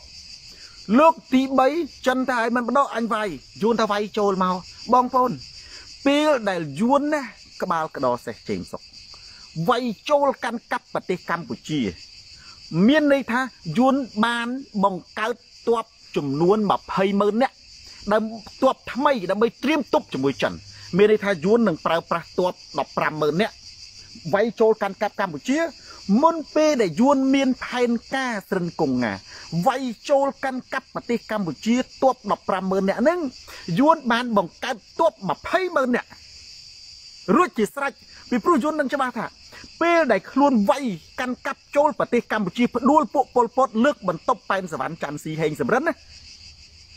គឺចិននឹងវាយចូលវាយវាយខ្លួនហើយមែនបងប្អូនទៅមើលឯកសារប្រវត្តិសាស្ត្រនៅទីណាក៏ដោយសរសេរអាហ្នឹងអត់មានសរសេរដល់ឈ្នះទេចិនបានវាយយួនបង្ខំឲ្យដកទ័ពចេញពីក្រុងភ្នំពេញនៅឆ្នាំ1979មួយសប្តាហ៍ក្រោយមកពេលដែលយួនកាន់កាប់ណាហើយសួរថាបងប្អូនស្មានតែក្នុងសភៅបានរៀន តើទៅលឺគ្រូសនតារាថាតើស្មានតែឯកសារគណៈបកប្រជាជនហ្នឹងនិយាយដូចសូនតារាស្មានគេឲ្យបងប្អូនដឹងគេឲ្យបងប្អូនថ្វាយបង្គំលេខ7មករាយតើគេឲ្យបងប្អូនថ្វាយបង្គំស្ទូបយួនទេតើគេមិនមែនឲ្យបងប្អូនស្ដាប់ដូចសូនតារាសួរសូនតារានិយាយពិតទេពិត100%យុចិនណាវាយចូល3ខេត្តកាន់កាប់នៅប្រទេសយួន3ខេត្តខេត្តដែលនៅជាប់ព្រំដែនចិនពេលនោះយួននៅតែអដកតបទៀត មែនទេចិននឹងវាយសម្រុកតទៀតអូនវីយូអៀងពេលហ្នឹងបងប្អូនណាពេលនោះមេបញ្ជាការកងទ័ពចិនដឹងចាញ់បោកយួនរឿងនិយាយយួនខ្លាំងវាខ្លាំងដែរវាឆ្លាតជាងហើយឥឡូវហ្នឹងអ្នកឈ្នះគឺសង្គ្រាមអ្នកយកនិយាយពីសាហាវសង្គ្រាមនិយាយពីឈ្នះគេនិយាយពីឈ្នះនេះបើប្រជាធិបតេយ្យបោះឆ្នោតប៉ុន្តែមិនឯងទៅទៅលេងគប់គ្រាប់បែកអាហ្នឹងគេនិយាយពីសាហាវ បើប្រជាធិបតេយ្យបោះឆ្នោតប្រកួតជាមួយបោះឆ្នោតអាហ្នឹងឈ្នះណាប៉ុន្តែបើសិនជាសង្គ្រាមគេអត់និយាយរឿងបោះឆ្នោតទេតបចិនចូលមកណាយួនហុំពាត់ពីក្រោយយួនអត់វាយទេគូវាហុំពាត់វាប្រឡែងឲ្យចិនចូលមកព្រោះចិនធម្មតាតបមោទនភាពវាចេះតែវាយបាន3ខែដំបងតឹងដល់ទៅវាយបាន3ខែសម្រាប់ចូលមកទៀតដល់តែចូលមកទៀតយួនវាត្រៀមហើយវាថាអើ បើនិយាយមកអត់កើតទេចូលដល់តែពេលចូលមកបងនេះដឹងមិនទេអានេះខ្ញុំយុទ្ធសាស្ត្រកងទ័ពណាយួនវាពាត់ហើយវាពាត់អត់វាយភ្លាមទេបាទវាយភ្លាមទេហេតុអីវាទុកឲ្យដាច់ស្បៀងមួយជំនាន់នោះមាន GPS ណាមកអត់មានភូមិសាស្ត្រទេទឹកដីយួនយួនស្គាល់ទាំងអស់អាបលាយទៅណាក៏វាស្គាល់បាញ់ទៅពីមក៏ងាប់ដែរពេលដែលយួនពាត់បិទគូតហើយយួនវាទុកបែរជា3 4ថ្ងៃឲ្យដាច់ស្បៀង ហើយវាមិនដែលកងទ័ពស៊ីអស់ដល់តែពេលដាច់ស្បៀងដាច់បាយចលាចលហើយបងដាច់បាយចលាចលហើយយួនដឹងតែដាច់បាយអាវុធដែលកងទ័ពចិញ្ចឹមត្រៀមសម្រាប់ទប់ពេលដែលខ្លួនវាយឆ្លៀនពៀនប្រទេសកម្ពុជាហ្នឹងណាយួនដាក់ប្រាវចិនណាងាប់គោទៅអាចទេហើយរត់ទៅវិញរត់ទៅវិញអាយួនបើករត់ទេព្រោះវាអត់ចង់សម្លាប់ច្រើនណានេះ យួនវាវាយនឹងសម្លាប់បដិញអ្នកឯងតដៃសម្លាប់បដិញបាក់ទប់រត់ទៅវិញពេលនោះមិនថាវីចិនណាវាចាប់ផ្ដើមឈប់ពោះវាយចូលយួនម្ដងនេះខាតអស់ច្រើនណាស់ខាតស្បៀងខាតលុយខាតជីវិតខាតអាវុធអញ្ចឹងចិនវាចាប់ផ្ដើមលែងជួយខ្មែរក្រហមដើម្បីឲ្យបង្ខំឲ្យយួនដកឲ្យគឺវាជួយអាវុធឲ្យ ពួកខ្មែរក្រហមទ័ពព្រៃនឹងតតាំងជាទ័ពព្រៃជាមួយនឹងរដ្ឋាភិបាលភ្នំពេញដែលដឹកនាំដោយប៉ែនសវណ្ណច័ន្ទស៊ីហេងសំរិនអានេះក៏និយាយឈ្មោះហ៊ុនសែនហ៊ុនសែនក្រោយទេយើងបាច់និយាយទេព្រោះរឿងគាត់ថាហ៊ុនសែនទៅរំដោះអាហ្នឹងរឿងគាត់ថាទេតែប្រវត្តិសាស្ត្រគឺណែប៉ែនសវណ្ណច័ន្ទស៊ីហេងសំរិនតែប៉ុណ្្នឹងឯងរឿងហ៊ុនសែនគាត់ថាគាត់រំដោះអាហ្នឹងព្រាងនីតិនអានេះសវត្តឌីមកពួកអានឹងរឿងប្រវត្តិសាស្ត្រពិតទេពេលនោះយួន ចិនវានៅជួយខ្មែរក្រហមហើយចិន គឺវាដោយសារតែខ្មែរក្រហមហ៊ុនសែនមិនអាចកំទេចចិនបានទេមិនអាចមិនអាចកំទេចខ្មែរក្រហមបានសង្គ្រាមស៊ីវិលនៅក្នុងប្រទេសកម្ពុជារវាងរដ្ឋាភិបាលភ្នំពេញនិងរដ្ឋាភិបាលខ្មែរក្រហមបន្តបើអត់ចិនបោះបង់ចោលអញ្ចឹងបានអាសំណួរនេះខ្ញុំចង់ឆ្លើយបងប្អូនណាតើចិនអាចបោះបង់ចោលហ៊ុនសែននេះអាចព្រោះចិនបានបោះបង់ចោលខ្មែរក្រហម តើចិនបោះបង់ចោលខ្មែរក្រហមដោយសារអ្វីអាហ្នឹងវាតទៀតដោយសារយើងខ្លាំងយើងនៅក្រៅប្រទេស មាននរោត្តមសីហនុមានសឿនសាន មានសំរាំងស៊ីមានស្អីផ្សេងផ្សេងទាំងអស់ហ្នឹងមានស្រេចក្រមព្រះឧទាហរណ៍ចុះខ្មែរក្រៅប្រទេសហ្នឹងវាអត់ស្ងាត់វាវាអត់ដេកស្ងាត់ធ្វើអាសម្បើមចលនាដូចសូនតារានេះមានទូរទស្សន៍សូនតារាដែលជាអាវុធច្បាំងជាមួយរថក្រោះហ៊ុនសែន10000គ្រឿងនេះគឺវាខ្លាំង អចលនាក្រៅសុកខ្លាំងគឺទៅធ្វើឲ្យអន្តរជាតិមានសម្ពាធខ្លាំងពេលហ្នឹងហើយដែលមានកិច្ចព្រមព្រៀងសន្តិភាពក្រុងប៉ារីសអានឹងរឿងឆ្ងាយទៀតឬក៏មានដំណោះស្រាយនយោបាយបន្ទាប់មកទៀតចិនណាបោះបង់ចោលខ្មែរក្រហម ខ្មែរក្រហមคลายទៅជាទ័ពព្រៃអាណាថានៅក្នុងព្រៃគឺរស់ដោយសារតែប្លន់និងប្រើប្រាស់ស្បៀងចាក់ចាក់មានតែចិនលែងជំនួយអញ្ចឹងងាប់រស់ពេលហ្នឹងហើយ ដែលហ៊ុនសែនគាត់ដឹងអំពីជោគវាសនាខ្មែរក្រហមវាគង់តែវិនិច្ឆ័យគង់តែស្លាប់ទេពេលហ្នឹងបានជាហ៊ុនសែននិងស្ដេចព្រំព្រះធ្វើសង្គ្រាមដណ្ដើមយកខ្មែរក្រហមថ្ងៃ5ថ្ងៃ6មានន័យថាស្ដេចក្រមព្រះចោតហ៊ុនសែនចោតស្ដេចក្រមព្រះទៅនៅខ្មែរក្រហមចូលស្រុកហ៊ុនសែនទៅលួចជួបខៀវសំផនហើយនឹងនួនជានៅប៉ៃលិនជំរាបសួរគ្នាទៅតែមិនដឹង ពេលដែលហ៊ុនសែនទៅលួចជួបខៀវសំផនមិនលួចជួបទេទៅជួបខៀវសំផននួនជាផឹកតែផឹកតែស៊ីបាយជាមួយគ្នាហូបបាយជាមួយគ្នាហ៊ុនសែនក៏ទៅប្រាប់ទៅទៅថាចង្អុលស្ដេចក្រមព្រះថាអេស្ដេចក្រមព្រះឯងណាខុសច្បាប់ហ្នឹងណានាំខ្មែរក្រហមចូលស្រុកហើយយកខ្លួនឯងទៅអង្គុយផឹកតែជាមួយនៅខៀវសំផនឯនឹងនួនជានោះនៅបៃលិនអានឹងស្អីគេ រឿងហ្នឹងណាគេដឹងតែខ្មែរក្រហមងាប់ហើយអាមិនបានខ្មែរក្រហមងាប់យីឈឹងលេងពីព្រោះចិនបោះបង់ពេលដែលចិនបោះបង់ចឹងបាទនៅខ្ញុំត្រឡប់ទៅក្នុងប្រធានបទហ្នឹងដេញមកវិញពីស្អីបោពេលដែលចិនបោះបង់ខ្មែរក្រហមណាថាតើខ្មែរក្រហមរត់ទៅច្រកណាអត់ច្រករត់ត្រូវមួយទៀតណាចឹងបាទថាបងប្អូនរៀនវិទ្យាសាស្ត្រនយោបាយនឹងអាបច្ចេកទេសនឹងអូនវីណាអញ្ចឹងបានជាខ្ញុំឆ្លើយទៅកាន់បងប្អូនថា គេសួរខ្ញុំច្រើនណាស់គេសើលោកគ្រូហ៊ុនសែនរត់ទៅច្រកណាខ្ញុំថាអត់ច្រករត់ទេគ្មានច្រករត់ទេអាម៉េចទី1បើស្ថានភាពខ្ញុំនិយាយឡើងដើមពេលហ្នឹងអត់មានទេនេះស្ថានភាពអន្តរជាតិនៅពេលណាដែលស្ថានភាពអន្តរជាតិនៅថៃនៅនៅភូមិមាសត្រូវបានស្រែកហ៊ុនសែនក៏ទៅបទូដែរស្វ័យប្រវត្តិបើហ៊ុនសែនមិនបទូហ៊ុនសែនដាក់ខ្លួនឯងឯកោដោយខ្លួនឯងសម្រាប់ខ្លួនឯងអតិខិតនយោបាយអត់មានច្រកទេត្រូវតែបទូហើយចុះបើចិន អាចបោះបង់នេះអាចបោះបង់ហ៊ុនសែនព្រោះចិនធ្លាប់បោះបង់ប៉ុលពតហើយបើចិនមិនបោះបង់ប៉ុលពតនាគទៀបសន្តិភាពហើយចិនណានៅតែជួយប៉ុលពតរហូតមកទល់បច្ចុប្បន្នហ៊ុនសែនគ្មានវាយផ្ដួលរំលំប៉ុលពតបានជាដាច់ខាតគ្រាន់តែសង្គ្រាមរ៉ាំរ៉ៃនឹងរហូតឆ្លក់ទាត់ឆ្លប់ព្រៃទៅនៅខុនសែនកាន់កាប់ក្រុងទៅ ក្នុងព្រៃប៉ុលពតទៅយប់ឡើងលឺកភ្លើងអពេអបថាអត់ឈ្នះចាញ់ទេអត់មានឈ្នះចាញ់ទេចរចាក៏ចរចាអត់បានចរចាប៉ុលពតវាស្ដាប់ចិនវាមិនមែនស្ដាប់ហ៊ុនសែនទេណាមែនទេហ៊ុនសែនទៅចរចាជាមួយខៀវសំផនជាមួយតាមុកជាមួយនួនជាជាមួយអីទាំងអស់បានហ្នឹងដោយសារពួកនេះវាអត់មានមេអាចិនហ្នឹងវាមានមេខ្មែរក្រហមវាមានមេណាត្រូវស្ដាប់ឧទាហរណ៍ថាចិនវានៅតែគ្រប់គ្រង នេះខ្មែរក្រហមប៉ុលពតតាមុកនួនជាខៀវសំផនអញ្ចឹងបើហ៊ុនសែនទៅចរចាបើចិនប្រាប់ថាកុំចរចាតើនឹងមិនហ៊ានបើវាអាយ៉ងរស់ចិនហ្នឹងពួកខ្មែរក្រមអាយ៉ងចិនហ្នឹងមិនហ៊ានចិនវាអ្នកគ្រប់គ្រងស្បៀងគ្រប់គ្រងអាវុធគ្រប់គ្រងសម្ភារបំពាក់គ្រប់គ្រងអីទាំងអស់នេះជំនួយទាំងអស់ដើម្បីវាយជាមួយនៃរដ្ឋាភិបាលភ្នំពេញដែលចិនដែលចិនវាថាយួនហ្នឹងអញ្ចឹងវាអត់វាអត់មូលហេតុដែលប៉ុលពតរលាយគឺដោយសារតែចិនបោះបង់ ពេលនោះប៉ុលពតអត់មានច្រករត់ទេខ្លះថាហេប៉ុលពតអាចរត់ទៅថៃបានហ៊ុនសែនក៏អាចរត់ទៅអាមេរិកក៏បានដែរគេទទួលក៏អាចរត់មកបារាំងមកមកមកចូលទូរទស្សន៍សូនតារាផ្សាយផ្ទាល់មកដើរលេងជាមួយសូនតារាពេញស្រុកបារាំងក៏បានបារាំងទទួលជនភៀសខ្លួននយោបាយអានឹងគេអត់ហៅថាច្រករត់ទេច្រករត់ចង់សម្ដៅលើថាតើហ៊ុនសែនមានអំណោះស្រាយនយោបាយអីដែលឲ្យគណៈបកប្រជាជននឹងកាន់អំណាចបន្តទៀតអស់មួយជីវិតកុសលបែនតកូនតចៅ អត់មានទេអាហ្នឹងដែលខ្ញុំចង់និយាយថាហ៊ុនសែនគ្មានច្រកណារត់ក្រៅពីនឹងទេគឺអត់ច្រកតែម្ដងពោះមានរឿងហើយប៉ុលពតនេះចិននឹងបោះបង់ចោលចំណុចនេះបានតែខ្ញុំលើកឧទាហរណ៍មួយពាក់ព័ន្ធជាមួយនឹងចិនហើយនឹងតាលីបានពីព្រោះខ្ញុំចង់និយាយអំពីថាពួកតាលីបានក៏វាការតស៊ូវែងឆ្ងាយគ្រាន់តែការតស៊ូនោះបែបអាវុធណាអ្វីដែលខ្ញុំចង់លើកយកគឺ ការតស៊ូមិនបោះបង់ណាថ្ងៃណាមួយទោះជាមានអាមេរិកនៅពីក្រោយខ្នងអាហ្គានីស្ថានក៏វាត្រូវតែលបើកដែរទោះជាមានចិននៅពីក្រោយខ្នងហ៊ុនសែនណា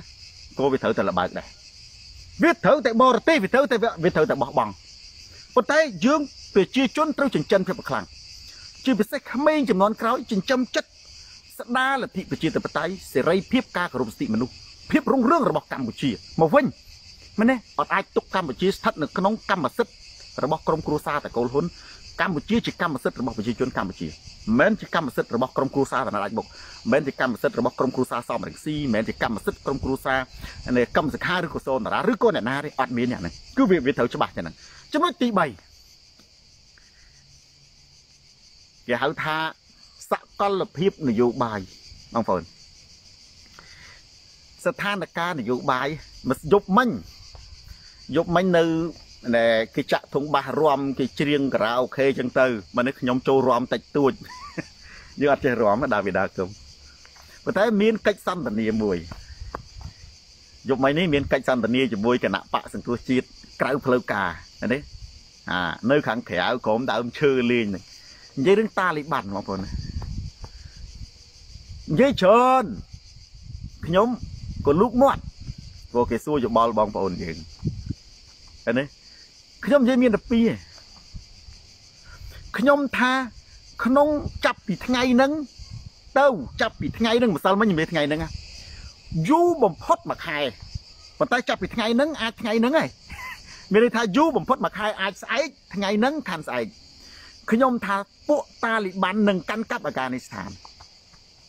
មែនបងប្អូនតែនិយាយគាត់មើលនឹងសួរគាត់នៅនឹងលឺខ្ញុំដឹងហើយមានតែលួចស្ដាប់ទេដឹង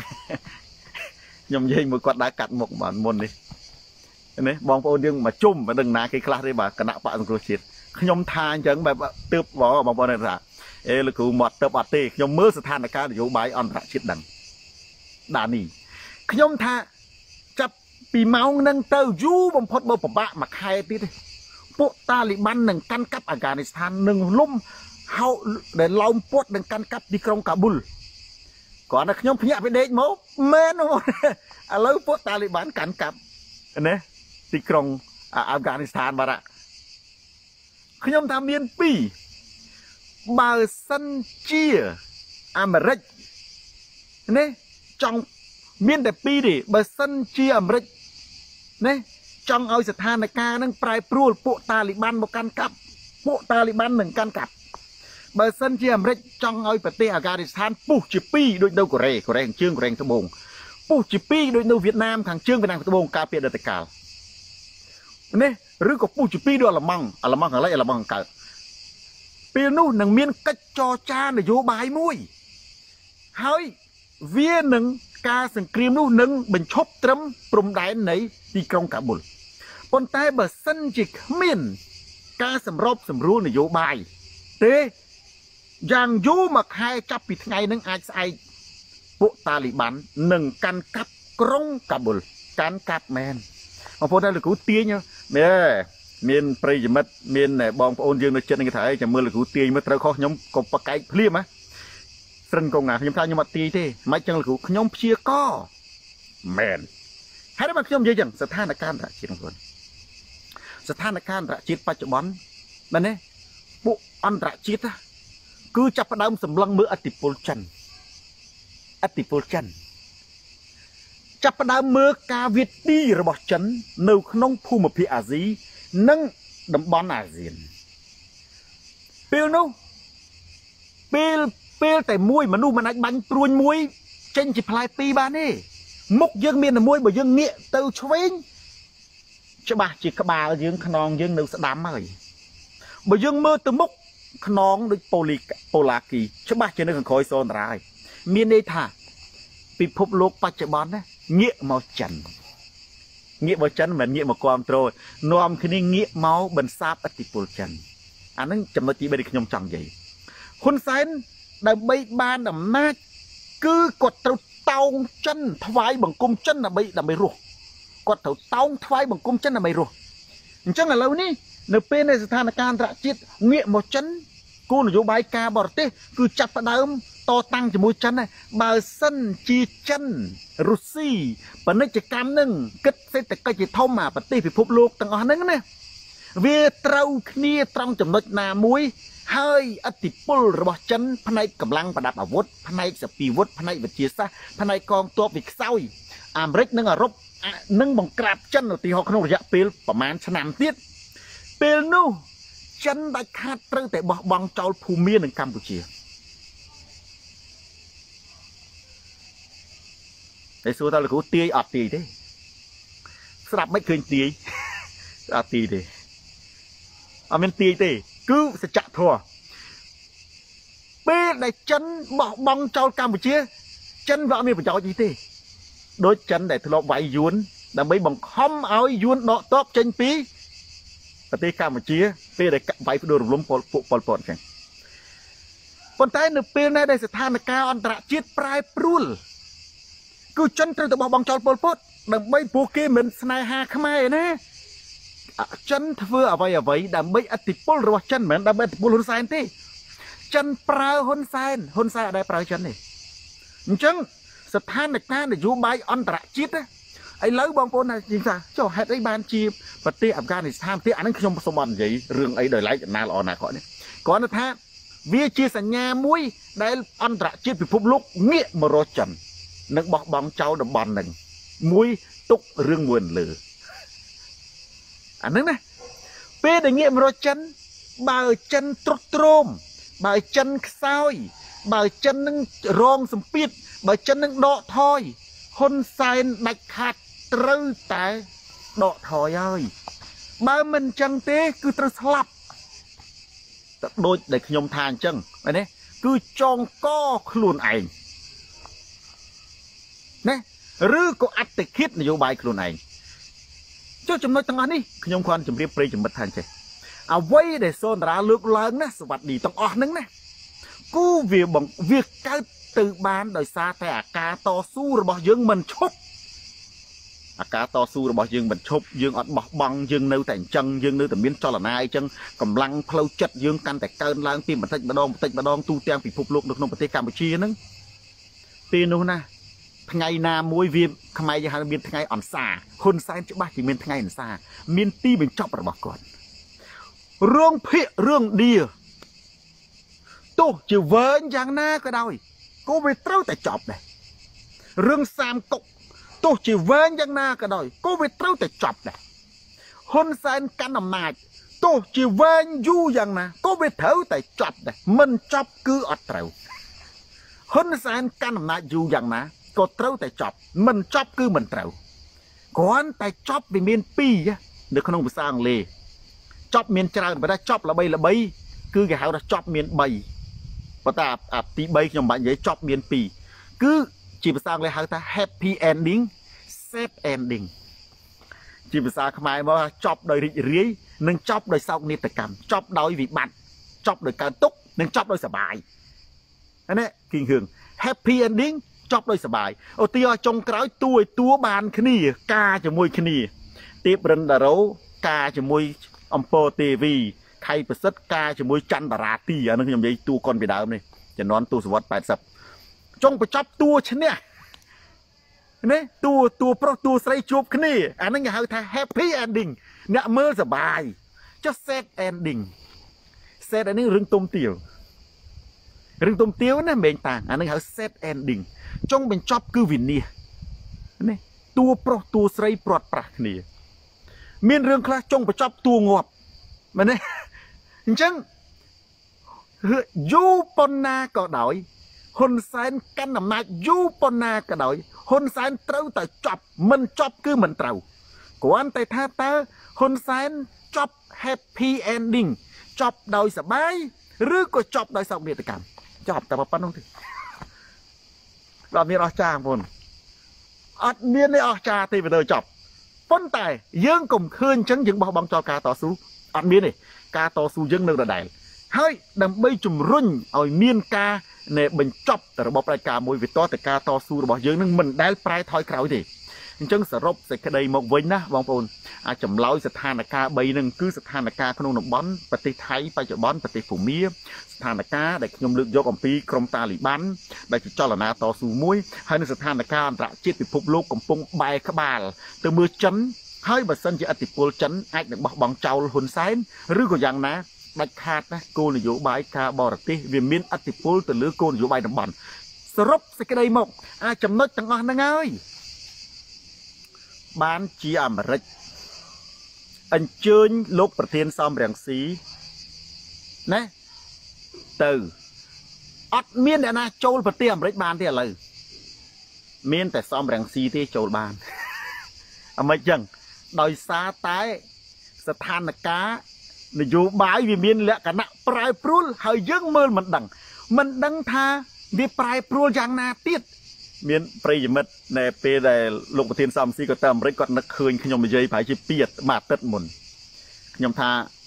អានឹងខ្ញុំស្មានទេខ្ញុំថាសង្ស័យទៅអាមេរិករដ្ឋាភិបាលអាមេរិកអញ្ជើញលោកប្រធានសំរងស៊ីទៅហ្នឹងឥឡូវមិនមែនសង្ស័យមែនហើយបាទនេះសួរលោកគ្រូមិនដឹងអើខ្ញុំស្មានទេហ្នឹងខ្ញុំមិនទៅដឹងខ្ញុំទេបាទខ្ញុំស្មានខ្ញុំចេះតែ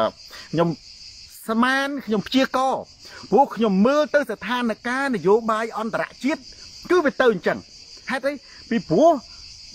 ចិនអាមេរិកវាទៅចាប់យួនណាវាមិនមែនដោយសារវាស្រឡាញ់យួនប្រហែលទេដោយសារភូមិសាស្ត្រនយោបាយទប់ឥទ្ធិពលចិនអញ្ចឹងកម្ពុជាគណៈបកសង្គ្រោះជាតិគឺតំណាងឲ្យអព្យាក្រឹតមិនដាក់ក្បាលក្រោមអាណបចិនហើយក៏យើងដាក់ក្បាលក្រោមរណបបរទេសណាដែរប៉ុន្តែយើងស្របជាមួយនឹងផលប្រយោជន៍ សាមិញលោកធានសំស៊ីក៏បាននិយាយស្របជាមួយផលប្រយោជន៍មានន័យថាម៉េចយើងហ៊ុនសែនលក់ប្រទេសឲ្យចិនដាក់ប្រទេសក្រៅអាណានិគមចិនដូចប៉ុលពតគឺវាអត់ស្របជាមួយនឹងឆន្ទៈប្រជាជនឆន្ទៈខ្មែរទេឆន្ទៈប្រជាជនឆន្ទៈខ្មែរគឺប្រទេសកម្ពុជាអព្យាក្រឹតឯករាជ្យអធិបតេយ្យភាពអត់មានស្ថិតនៅក្រោមអំណាចយួនអត់មានស្ថិតក្រោមអំណាចចិនទេហើយយើងដើម្បីណែមិនចង់ស្ថិតនៅក្រោមអំណាចយួនឬអំណាចចិនខឹមសាង គឺយើងត្រូវតែ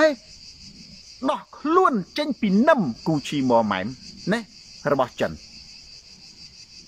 ណាដល់តែពេលនេះវាស្របជាមួយនឹងឆន្ទៈអន្តរជាតិមិនមែនតែអាមេរិកទេអង្គការសហប្រជាជាតិពួកអឺរ៉ុបក៏ឥទ្ធិពលចិនហ្នឹងហើយបងប្អូនណាបានជាខ្ញុំនិយាយថាស្ថានភាពនយោបាយវាអាចមានលក្ខណៈប្រែប្រួលគ្រប់វិនាទីទាំងអស់ហើយស្ថានភាពហ្នឹងហើយដែលនាំឲ្យខ្ញុំព្យាករថា ទំនងជាប្រយប្រិយមិត្តចាំឲ្យខ្ញុំនិយាយប្រហែលមួយសប្តាហ៍ឬ10ថ្ងៃមុន2សប្តាហ៍មុនចុះតាំងពីហ៊ុនសែនគាត់មិនទៅក៏នឹងប្រធានបទខ្ញុំថាទំនងជាប្រហែលជាអាចរដ្ឋាភិបាលអាមេរិកណាអញ្ជើញលោកប្រធានសំស៊ីទៅអាហ្នឹងខ្ញុំព្យាករទេបាទកសលប៉ែនទៅមែនអញ្ចឹងប្រិយមិត្តអាទាំងអស់ហ្នឹងបានជាខ្ញុំសរុបសេចក្តីមកអំពីស្ថានភាពនយោបាយនៅក្នុងប្រទេសសកលលោកនិងអន្តរជាតិដើម្បីឲ្យបងប្អូននឹងមើលឃើញអំពីការតស៊ូរបស់យើងទោះយ៉ាងណាក៏ដោយនឹងទទួលបានជោគជ័យជាក់ជាមិនខានប្រិយមិត្ត share វីដេអូនេះកាន់ប្រិយមិត្តដទៃទៀតញាក់បុរីទូរទស្សន៍សូនតារាស្រាច់ខោជន់ផ្ដាច់ការផ្លាស់ប្ដូរផ្នត់កំណត់យើងចូលទៅដល់របៀបរយៈចុងក្រោយ សំណួរចម្លើយនិងបញ្ហាផ្សេងផ្សេងបាទបាទចឹងយើងឈានដល់ចំណុចនេះគឺអានខមមិនរបស់ប្រិយមិត្តហើយឆ្លើយតបណាយោយោនិងស៊ូនុឈាន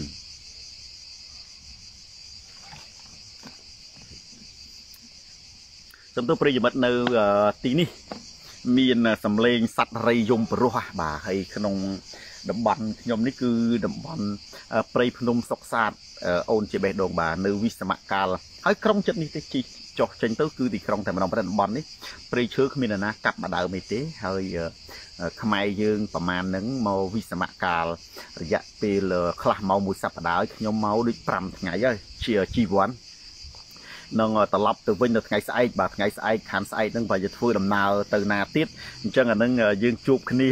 ឲ្យទៅទំនេរគឺជួបប្រិយមិត្តប៉ុន្តែបងប្អូនកុំបាច់ឆ្ងល់ទេបើកណាអត់ឃើញប្រិយអត់ឃើញសូនតារាធ្វើការផ្សាយផ្ទាល់តាមកម្មវិធីមានន័យថាធ្វើដំណើរឬក៏ទៅទស្សនៈទស្សនាកំសាន្តកន្លែងណាមួយ ណាតែប៉ុណ្្នឹងទស្សនាកំសាន្តទៅដល់យើងជួបបងប្អូនយើងយើងជួបញាតិជួបមិត្តជួបសន្តាន គ្រួសារសង្គ្រោះជាតិអាហ្នឹងគឺយើងត្រូវតែជួបហើយយើងអត់អាចទៅមកនិយាយអីចេះបានឬក៏បងប្អូនយើងគាត់ដឹកទៅឡើងភ្នំដឹកទៅឡើងវិមានដើរលេងនាំទៅហូបអីទៅដុតសាច់ទៅសមុទ្រអានឹងគឺវាត្រូវតែអខានការផ្សាយផ្ទាល់វណ្ណរីបាទអឺតែទោះយ៉ាងណាក៏ដោយទូរទស្សន៍សូនតារាស្រាត់ខោជន់ផ្ដាច់ការផ្លាស់ប្ដូរផ្នត់កំណត់មិនដែលទៅណាទេ ស្រិនកងងាបាទអាមេឲ្យលោកសំរងស៊ីទៅជួបដើម្បីគេស្រង់ឈ្មោះពួកបាតដៃប្រឡាក់ឈាមបាទអមស៊ីណាអ៊ីមីអឺចិត្តខេមរាស្រីសុវັດនៅដំណាក់ចង្អើបាទសុកសបាយធម្មតាអរគុណកាពឹកស្នុកការលោកគ្រូតើយួនអាចដកហ៊ុនសែនចេញពេលណាបានដែរឬទេយួនអាចដកហ៊ុនសែនបានប៉ុន្តែយួនមិនដកដោយសារ ចលនាប្រទៀងប្រទង់ចិត្តចិត្តត្រូវធ្វើល្អជានិច្ចកូនរវាងអតិពលចិនពីព្រោះបើសិនជាយួននេះដកហ៊ុនសែនវាតលតែអ្នកផ្សេងទៀតនឹងប្រកាសបំរើយួនដាច់ខាតបើអ្នកនោះអត់ប្រកាសបំរើយួនដាច់ខាតណាគឺប្រកាសអព្យាក្រឹតមិនស្ថិតនៅក្រោមអាណានិគមនៃបរទេសណាជាមិត្តរបស់បរទេសយើងអាចជាមិត្តរបស់យួនមិនអាចជាមិត្តយើងអាចយកប្រទេសជុំវិញណាមកធ្វើជាសត្រូវបានទេចឹកផ្សេង អញ្ចឹងយួនវាអត់ដែលចង់ឲ្យខ្មែរនឹងធ្វើជាមិត្តវាទេចង់ឲ្យខ្មែរធ្វើជាកញ្ចាស់វាអអ្នកណាដែលធ្វើកញ្ជះយួនណាយួនចង់ដកយួនអាចដកយួនមិនដកហ៊ុនសែនដោយសាររឿងនឹងឯងអញ្ចឹងយើងត្រូវធ្វើម៉េចបើកាលណាយួនវាអត់ដកគឺវាពឹងទៅលើការតស៊ូរបស់យើងនិងប្រជាជនឥតជោគជ័យដើម្បីដណ្ដើមប្រទេសចេញពីកញ្ចះបរទេសមករីបានបាទ អាស្រឡាញ់សន្តិភាពមកពួកប្រឆាំងជឿតាមបរទេសអែពួកប្រឆាំងមានជឿណាណាពួកប្រឆាំងប្រកាសឲ្យប្រទេសអព្យាក្រឹតអត់មានស្ថិតនៅក្រោមបរទេសណាទេអាពួកអត់ប្រឆាំងបានវាជាកញ្ជះរបស់ចិនកញ្ជះរបស់បរទេសយួនបាទត្រូវធ្វើល្អជានិច្ចណាកូនកម្មលិខិតគឺពិតណាមិនមែនព្រំលិខិត គ្រូព្យាករពិតមិនមែនគ្រូអត់ទាយទេបាទព្យាករពូណាង ពួកអាក្រៅប្រទេសវាបានតែនិយាយទេបាននិយាយនឹងសម្បើមឲ្យស្រុកខ្មែរនិយាយអត់បានផងមែនទេបើសិនជាការនិយាយនឹងអត់មានប្រយោជន៍ការនិយាយនឹងអត់មានអធិពលមានអំណាចអីហ៊ុនសែនដែលចាប់មនុស្សកោដាក់គុកនៅស្រុកខ្មែរហ៊ុនសែនតែដែលចាប់គោអីដាក់គុកគោស្មើមនុស្សគោហ៊ុនសែនចាប់ម្នាក់និយាយនឹងតាបើបងប្អូនមិនជឿនៅស្រុកខ្មែរនិយាយមើលសំបីទៅកុំថាឡើយនិយាយប្រឆាំងជាមួយហ៊ុនសែនសំបីថាតាមហ៊ុនសែនណាណាគីញឹមគៀកឆយក៏ហ៊ុនសែនចាប់ដាក់គុកដែរសមត្ថភាព នៅស្រុកខ្មែរហ៊ុនសែនចាប់តែអ្នកនិយាយនឹងស្រុកមកបរទេសបានតែនិយាយបើនៅស្រុកខ្មែរកុំថាឡើយបានតែនិយាយអត់បានអីទាំងអស់មែនទេបើនិយាយបានបើនិយាយគ្រប់គ្រងគណៈបកប្រជាជន បើនិយាយសរសើរហ៊ុនសែនបើនិយាយរឿងមែនទេជេរបចៅសំរងស៊ីកម្មសខាអានឹងបានចិនមានចម្លែកណាវាអត់មានអស្ចារអឺសៀមរាបកូនខ្មែរចិនដាពៅនិងអាអឺ ពិសីបោប្រទេសខ្មែរតូចអព្យាក្រឹតមិនបានទេលោកគ្រូត្រូវរណបមហាអំណាចល្អទើបជួយបាន បាទគាត់និយាយត្រូវហើយយើងអត់រណបឲ្យយើងស្របស្របប្រយោជន៍យើងប្រើពាក្យរណបបរទេសអានឹងគឺវាអត់ត្រូវទេយើងត្រូវប្រើពាក្យស្របប្រយោជន៍ជាតិខ្មែរបរទេសណាដែលស្របនឹងប្រយោជន៍ជាតិកម្ពុជាអានឹងជាមិត្តរបស់យើងណាយើងទៅណា ទំនាក់ទំនងចិត្តស្និទ្ធសាមគ្គីជាមួយហេតុអីបានខ្ញុំនិយាយចឹងបងប្អូនយួនណាហើយនឹងអាមេរិក sẽ ត្រូវសួរពូយថាអាមេរិកមកសម្រាប់ជនជាតិយួនសង្គ្រាមយួនវៀតណាមខាងជើងវៀតណាមត្បូងច្រើនណាហើយទោះអាមេរិកស្លាប់ច្រើនណាអាមេរិកមាននៅក្នុងសារៈមន្ទីរមួយគូវិចារឈ្មោះកងទ័ពដែលបានបាត់បង់ជីវិតនៅក្នុងសង្គ្រាមវៀតណាមច្រើនណាអាមេរិកនិងវៀតណាមអត់ដែលមានចិត្តគ្នាប៉ុន្តែហេតុអី បានជាអនុប្រធានាធិបតីអាមេរិកនឹងទៅទស្សនកិច្ចជាមួយវៀតណាមមានន័យថាអាមេរិកត្រូវជាមួយវៀតណាមស្របប្រយោជន៍វាស្របប្រយោជន៍ហេតុអីបានជាវៀតណាមមិនដលងមូលមិនឈួតអាមេរិកធ្លាប់ដាក់អាណានិគមនេះសំសុតសុធារីធ្លាប់ត្រួតត្រាធ្លាប់ពុះប្រទេសវៀតណាមកាប់ចាក់បង្ហូរឈាមស្លាប់មនុស្សឆ្អឹងកនេះឈាមដូចទលេហេតុអីបានជាយួននឹងមិនមិនចងកំហឹងជាមួយវៀតជាមួយអាមេរិក ព្រោះបើចងកំហឹងនេះវាអត់ស្របនឹងប្រយោជន៍ពីរឿងប្រវត្តិសាស្ត្ររឿងផ្សេងដូចអាឡម៉ង់សង្គ្រាមបារាំងអ៊ីតាលីជាមួយអង់គ្លេសចុះហេតុអីបានជាឥឡូវហ្នឹងយួននឹងវាត្រូវជាមួយអាមេរិកដោយសារតែវាស្របជាមួយនឹងប្រយោជន៍របស់អាមេរិកហើយវាស្របជាមួយនឹងប្រយោជន៍របស់យួនដូចគ្នាកម្ពុជាហ៊ុនសែនបច្ចុប្បន្នអត់ធ្វើស្របនឹងប្រយោជន៍ជាតិទេស្របនឹងប្រយោជន៍អំណាចរបស់គាត់ ស្របនឹងអំណាចផ្ដាច់ការរបស់គាត់គាត់អត់មានធ្វើស្របនឹងប្រយោជន៍ប្រទេសជាតិទេ បើហ៊ុនសែនធ្វើស្របនឹងប្រយោជន៍ប្រទេសជាតិហ៊ុនសែនក៏អត់អោនក្បាលធ្វើកញ្ចេះចិនទេប៉ុន្តែបើសិនជាចិននឹងស្របប្រយោជន៍ប្រទេសជាតិយើងក៏មិនខ្លាចទៅចាប់សាមគ្គីជាមួយចិនទេឧទាហរណ៍ថាអញ្ចេះប៉ុន្តែឥឡូវយើងសួរមើល តើចិនមានស្របជាមួយនឹងប្រយោជន៍ប្រទេសជាតិនិងប្រជាជនកម្ពុជាទេអត់ចិនស្របនឹងប្រយោជន៍ហ៊ុនសែនមេដឹកនាំផ្ដាច់ការនៅលើលោកឲ្យតែចាប់ចិនគឺស្របនឹងប្រយោជន៍គ្រួសារអំណាចខ្លួនឯងតែម្នាក់គត់ចង់អាណាងាប់អីងាប់ទៅទូទាំងប្រទេសទូទាំងពិភពលោកនេះអាណាងាប់អីងាប់ទៅគឺដាច់ខាត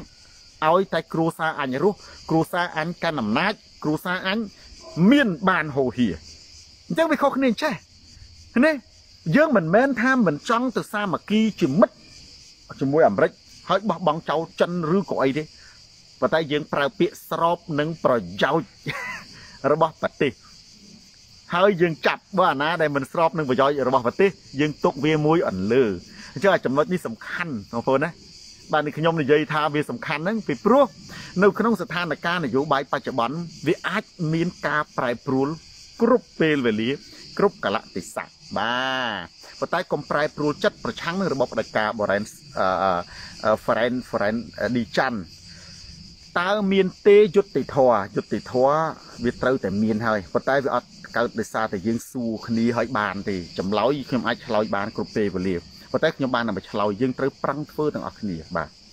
នារីរតសុជាតិដើម្បីខ្លួនឯងមិនគិតប្រទេសទេជាតិណាងាប់ក៏ងាប់ទៅបាទ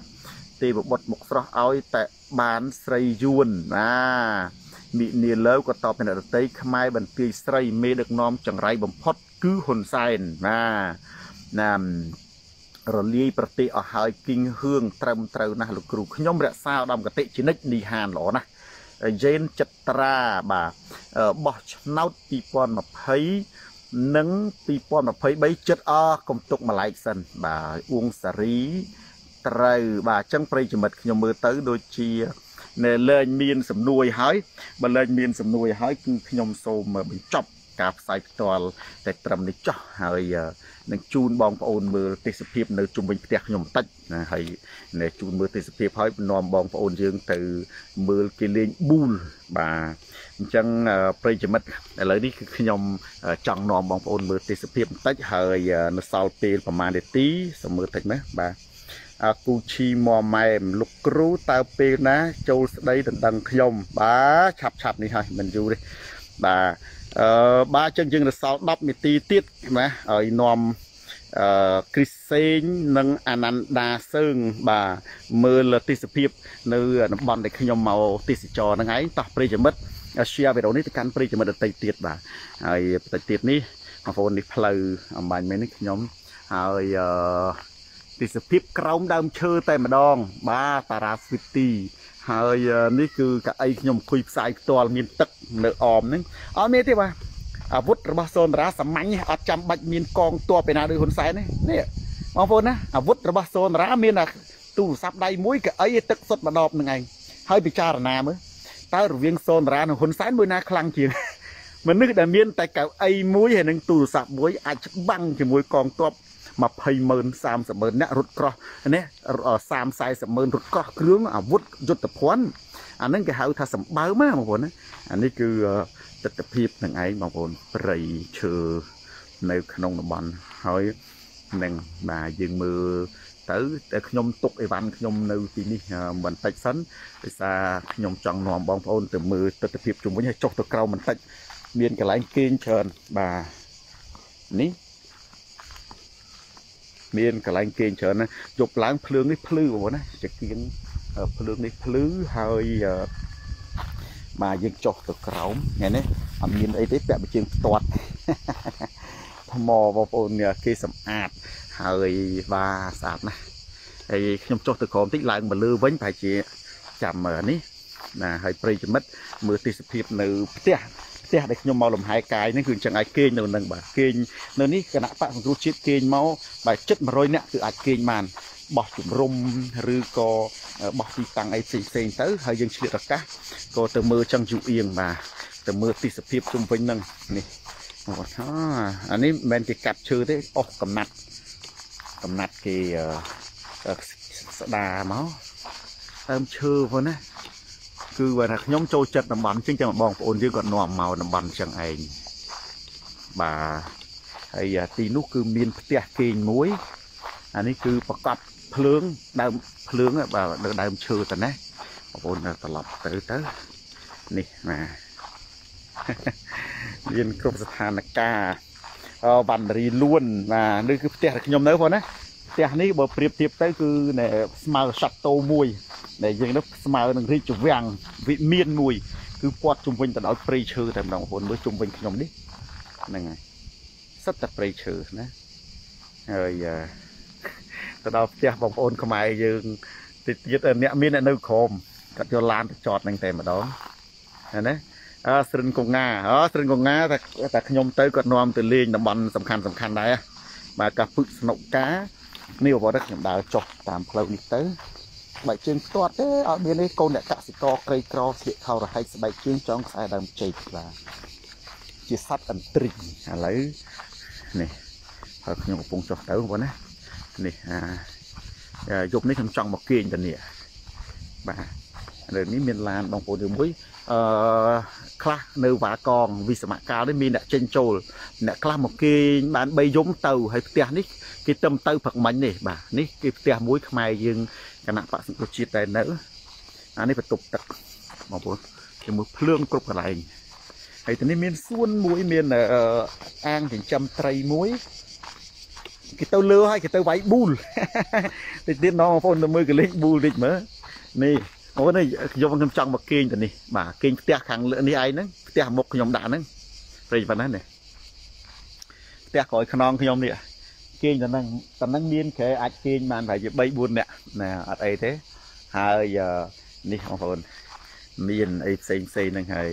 ទាំងអស់យើងមើលទៅក៏អាវហាលបោកគេឡើងទៅលើហើយព្រោះកន្លែងលើកន្លែងទីស្នាក់ការគណៈបកសង្គ្រោះជាតិធំ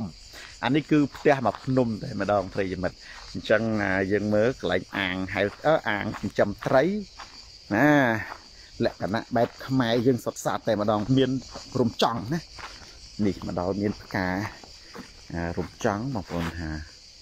ទៅបាទមានត្រីទៀតហ្មងណាមើលខ្ញុំចាប់នេះធំធំបងប្អូនឃើញទេនេះឃើញទេបងឃើញអូទៅមកវងបាទឃើញមនុស្សមកវាផ្អើលមើលខ្ញុំចាប់តែគៀកទេ ត្រីជាមួយនឹងអូអក្សរធំមែនទែនបងធំហ្នឹងអឺបាទចឹងបានថាណែហ៊ុនសែនគ្មានជោគវាសនាដូចសនតារាដើរជុំវិញផែនដីហើយអត់មានបងប្អូនកវីស្បែកជើងគប់ក្បាលដូចហ៊ុនម៉ាណែតទេបាទសនតារាទៅណាក៏បងប្អូនទទួលដែរអត់មានទេរឿងជាការពិតនេះបងប្អូនមើលត្រីទៅស្អាតណាស់ណាច្រើនមែនទែនហើយនេះគេមិនត្រីគេចិញ្ចឹមសម្រាប់ កំសាន្តនេះណាហើយ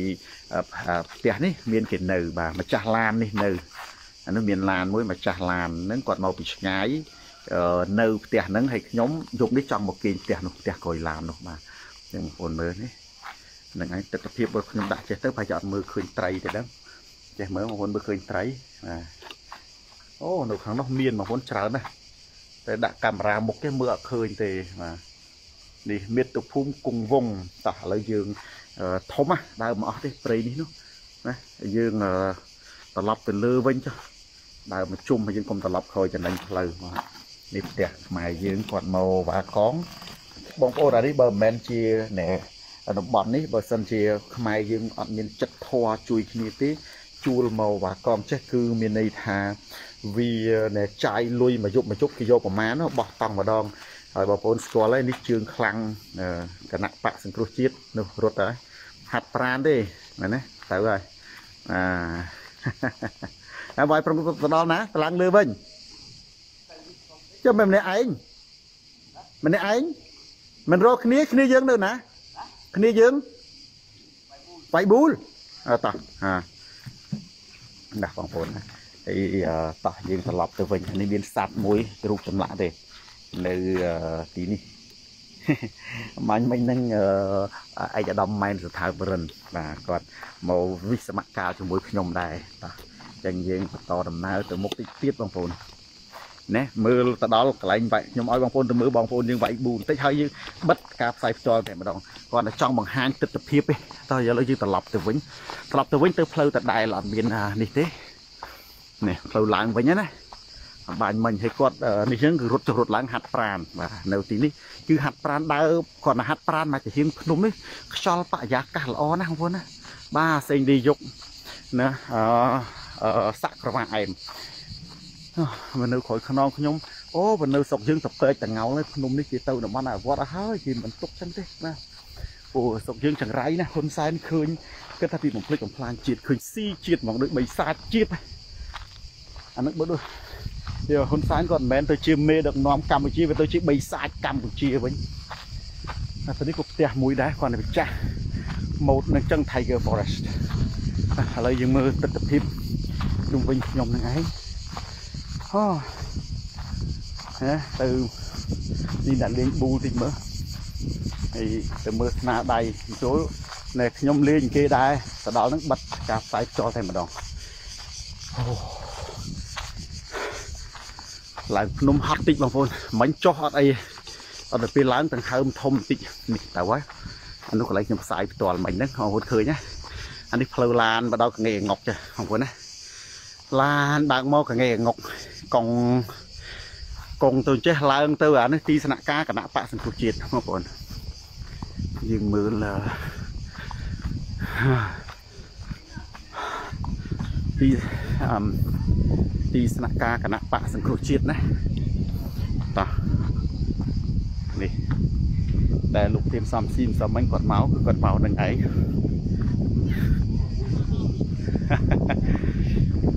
កម្មវិធីបាកងបាទព្រោះនេះគឺអូច្រើនណាស់តុកដែលយើងញ៉ាំបាយអានេះតុកបាទនេះនេះឃើញទេបាទ អូនោះមកអ្នកហាត់ប្រានអើបងថែម2អ្នកទៀតខ្ញុំចប់លើហើយថែម2អ្នកទៀតចាប់ដៃគូមួយខ្ញុំប៊ូលប៊ូលចប់ឡើយណោះអឺ3នេះ3 3ក្រុមតោះថែមទៀតនេះប្រិយមិត្តមើលនេះគឺទីស្នាក់ការចាំមកថាទីស្នាក់ការគណៈបកគុជាតិសម្បើមបងប្អូនណានេះបាទហើយនេះបាទ គឺសិតតែជាជើងខ្លាំងស្ត្រីសង្គ្រោះជាតិល្បីល្បីនៅប្រទេសបារាំងបាទទៅតែមកពីសមុទ្រថ្ងៃនេះខ្ញុំសូមអត់ទៅឲ្យសម្រាប់ព្រោះដូចជាខ្លាំងដែរបាទនោះសិតតែអ្នកហ៊ុនសែនរកមុខហើយអ្នកពាក់វ៉ែនតាហ្នឹងណាត្រូវតែលិចមុខហើយហ្នឹងហើយនៃខាងនេះគឺញ៉ាំទស្សនភាពគ្រូសាមានអីត្រូវអៀនទេបាទនេះអាហើយផ្កានេះម្សិលមិញហ្នឹងគឺយើងដាក់ដើម្បីស្វាគមន៍ ដែលប្រដាច់ព្រះគុណនឹងគណៈបកសង្គ្រោះជាតិនិងលោកហ៊ុនសំនឹងស៊ីអានេះគឺជាទីស្នាក់ការរបស់គណៈបកសង្គ្រោះជាតិតែអញ្ចឹងប្រិយមិត្តយើងបាទបាទយើងត្រឡប់ទៅមើលការប្រកួតកីឡាទីទៀតដល់ខ្ញុំវគ្គវគ្គខ្ញុំម្ដងហើយនេះណាអើបាទឥឡូវយើងមើលទៅការប្រកួតម្សិលមិញសិតតអ្នកចាញ់សូនតារាទាំងអស់ ប៉ុន្តែរឿងខឹងបំផុតខឹងត្រង់ថាឲ្យតែវាយសូនតារាដឹងពីត្រូវវាយគេមិនត្រូវបាទនេះឥឡូវយើងមើលអាគ្នាណាមកហើយបាទអេលេងចាំបងថៅរិនមកសិនលោកគាត់មកគាត់មកមកហើយចាំបិទកាមេរ៉ាសិនឈប់តិចទៀតឥឡូវមើលព្រឹត្តិការណ៍នៃប្រកួតគ្នាតិចសិនមើលឲ្យបងប្អូនយើងបាទនេះកំពុងផ្សាយផ្ទាល់ឯណាលេងប្រយ័ត្នប្រយែងអ្នកចូលខុសឥឡូវវាណាចូលមុនគេម៉ាប់ហ៎ឲ្យចាំថតម៉ាប់ចូលឲ្យខ្មាស់គេម្ដងមើលអើមក អើមកហើយបាទអូមកវាឆ្ងាយណាស់នេះដល់កអូទីបមនុស្សរុំម្ដងចាំមើលមកខាងនោះមកមើលម៉េចម៉េចអាគៀកជាងឆ្ងាយដូចគ្នាអត់ទេបងឲ្យស៊ីហើយឈ្នះហើយនេះបងប្អូនយើងមើលតានេះអឥឡូវយើងមើលម៉ាប់ម្ដងទៀតមើល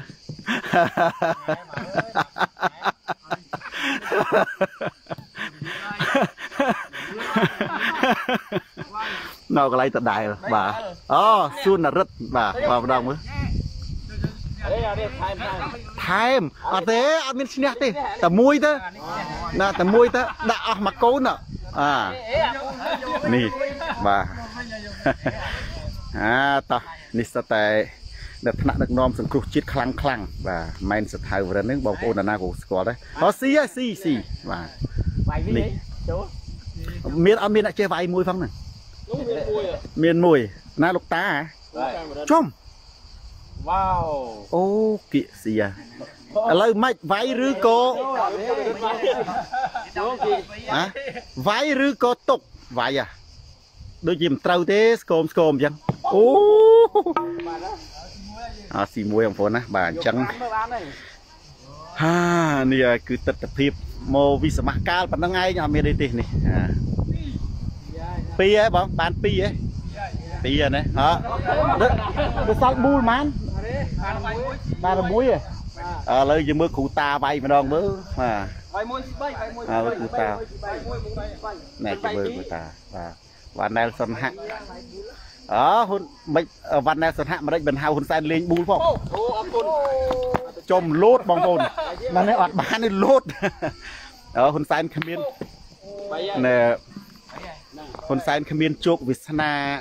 នៅដើរកំសាន្តដូចសូនតារាជុំវិញផែនដីចេះទេបាទចឹងប្រិយមិត្តអរគុណប្រិយមិត្តដែលបានតាមដានទស្សនាការផ្សាយផ្ទាល់នេះតាំងពីដើមរហូតដល់ចប់ share វីដេអូនេះទៅកាន់ប្រិយមិត្តដទៃទៀតទូរទស្សន៍សូនតារាទៅដល់ទីណាការផ្លាស់ប្ដូរផ្នត់កំណត់ទៅដល់ទីនោះការផ្លាស់ប្ដូរផ្នត់កំណត់ទៅដល់ទីណាការយល់ដឹងទៅដល់ទីនោះពីពីបានការយល់ដឹងទៅដល់ទីណាហ៊ុនសែនចប់ទៅដល់ទីនោះស្ដាប់សូនតារាកើនបញ្ញាស្ដាប់ខឹមវាសនាកើតខួរក្បាលពុំស្ដាប់ហ៊ុនសែនកើតរោគចិត្តទូរទស្សន៍សូនតារាស្រាត់ខោជន់ផ្ដាច់ការផ្លាស់ប្ដូរផ្នត់កំណត់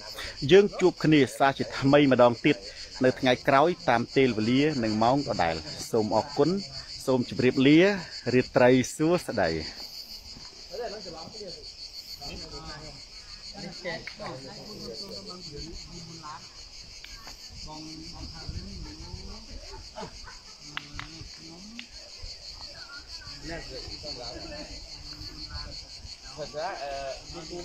មានមានមាន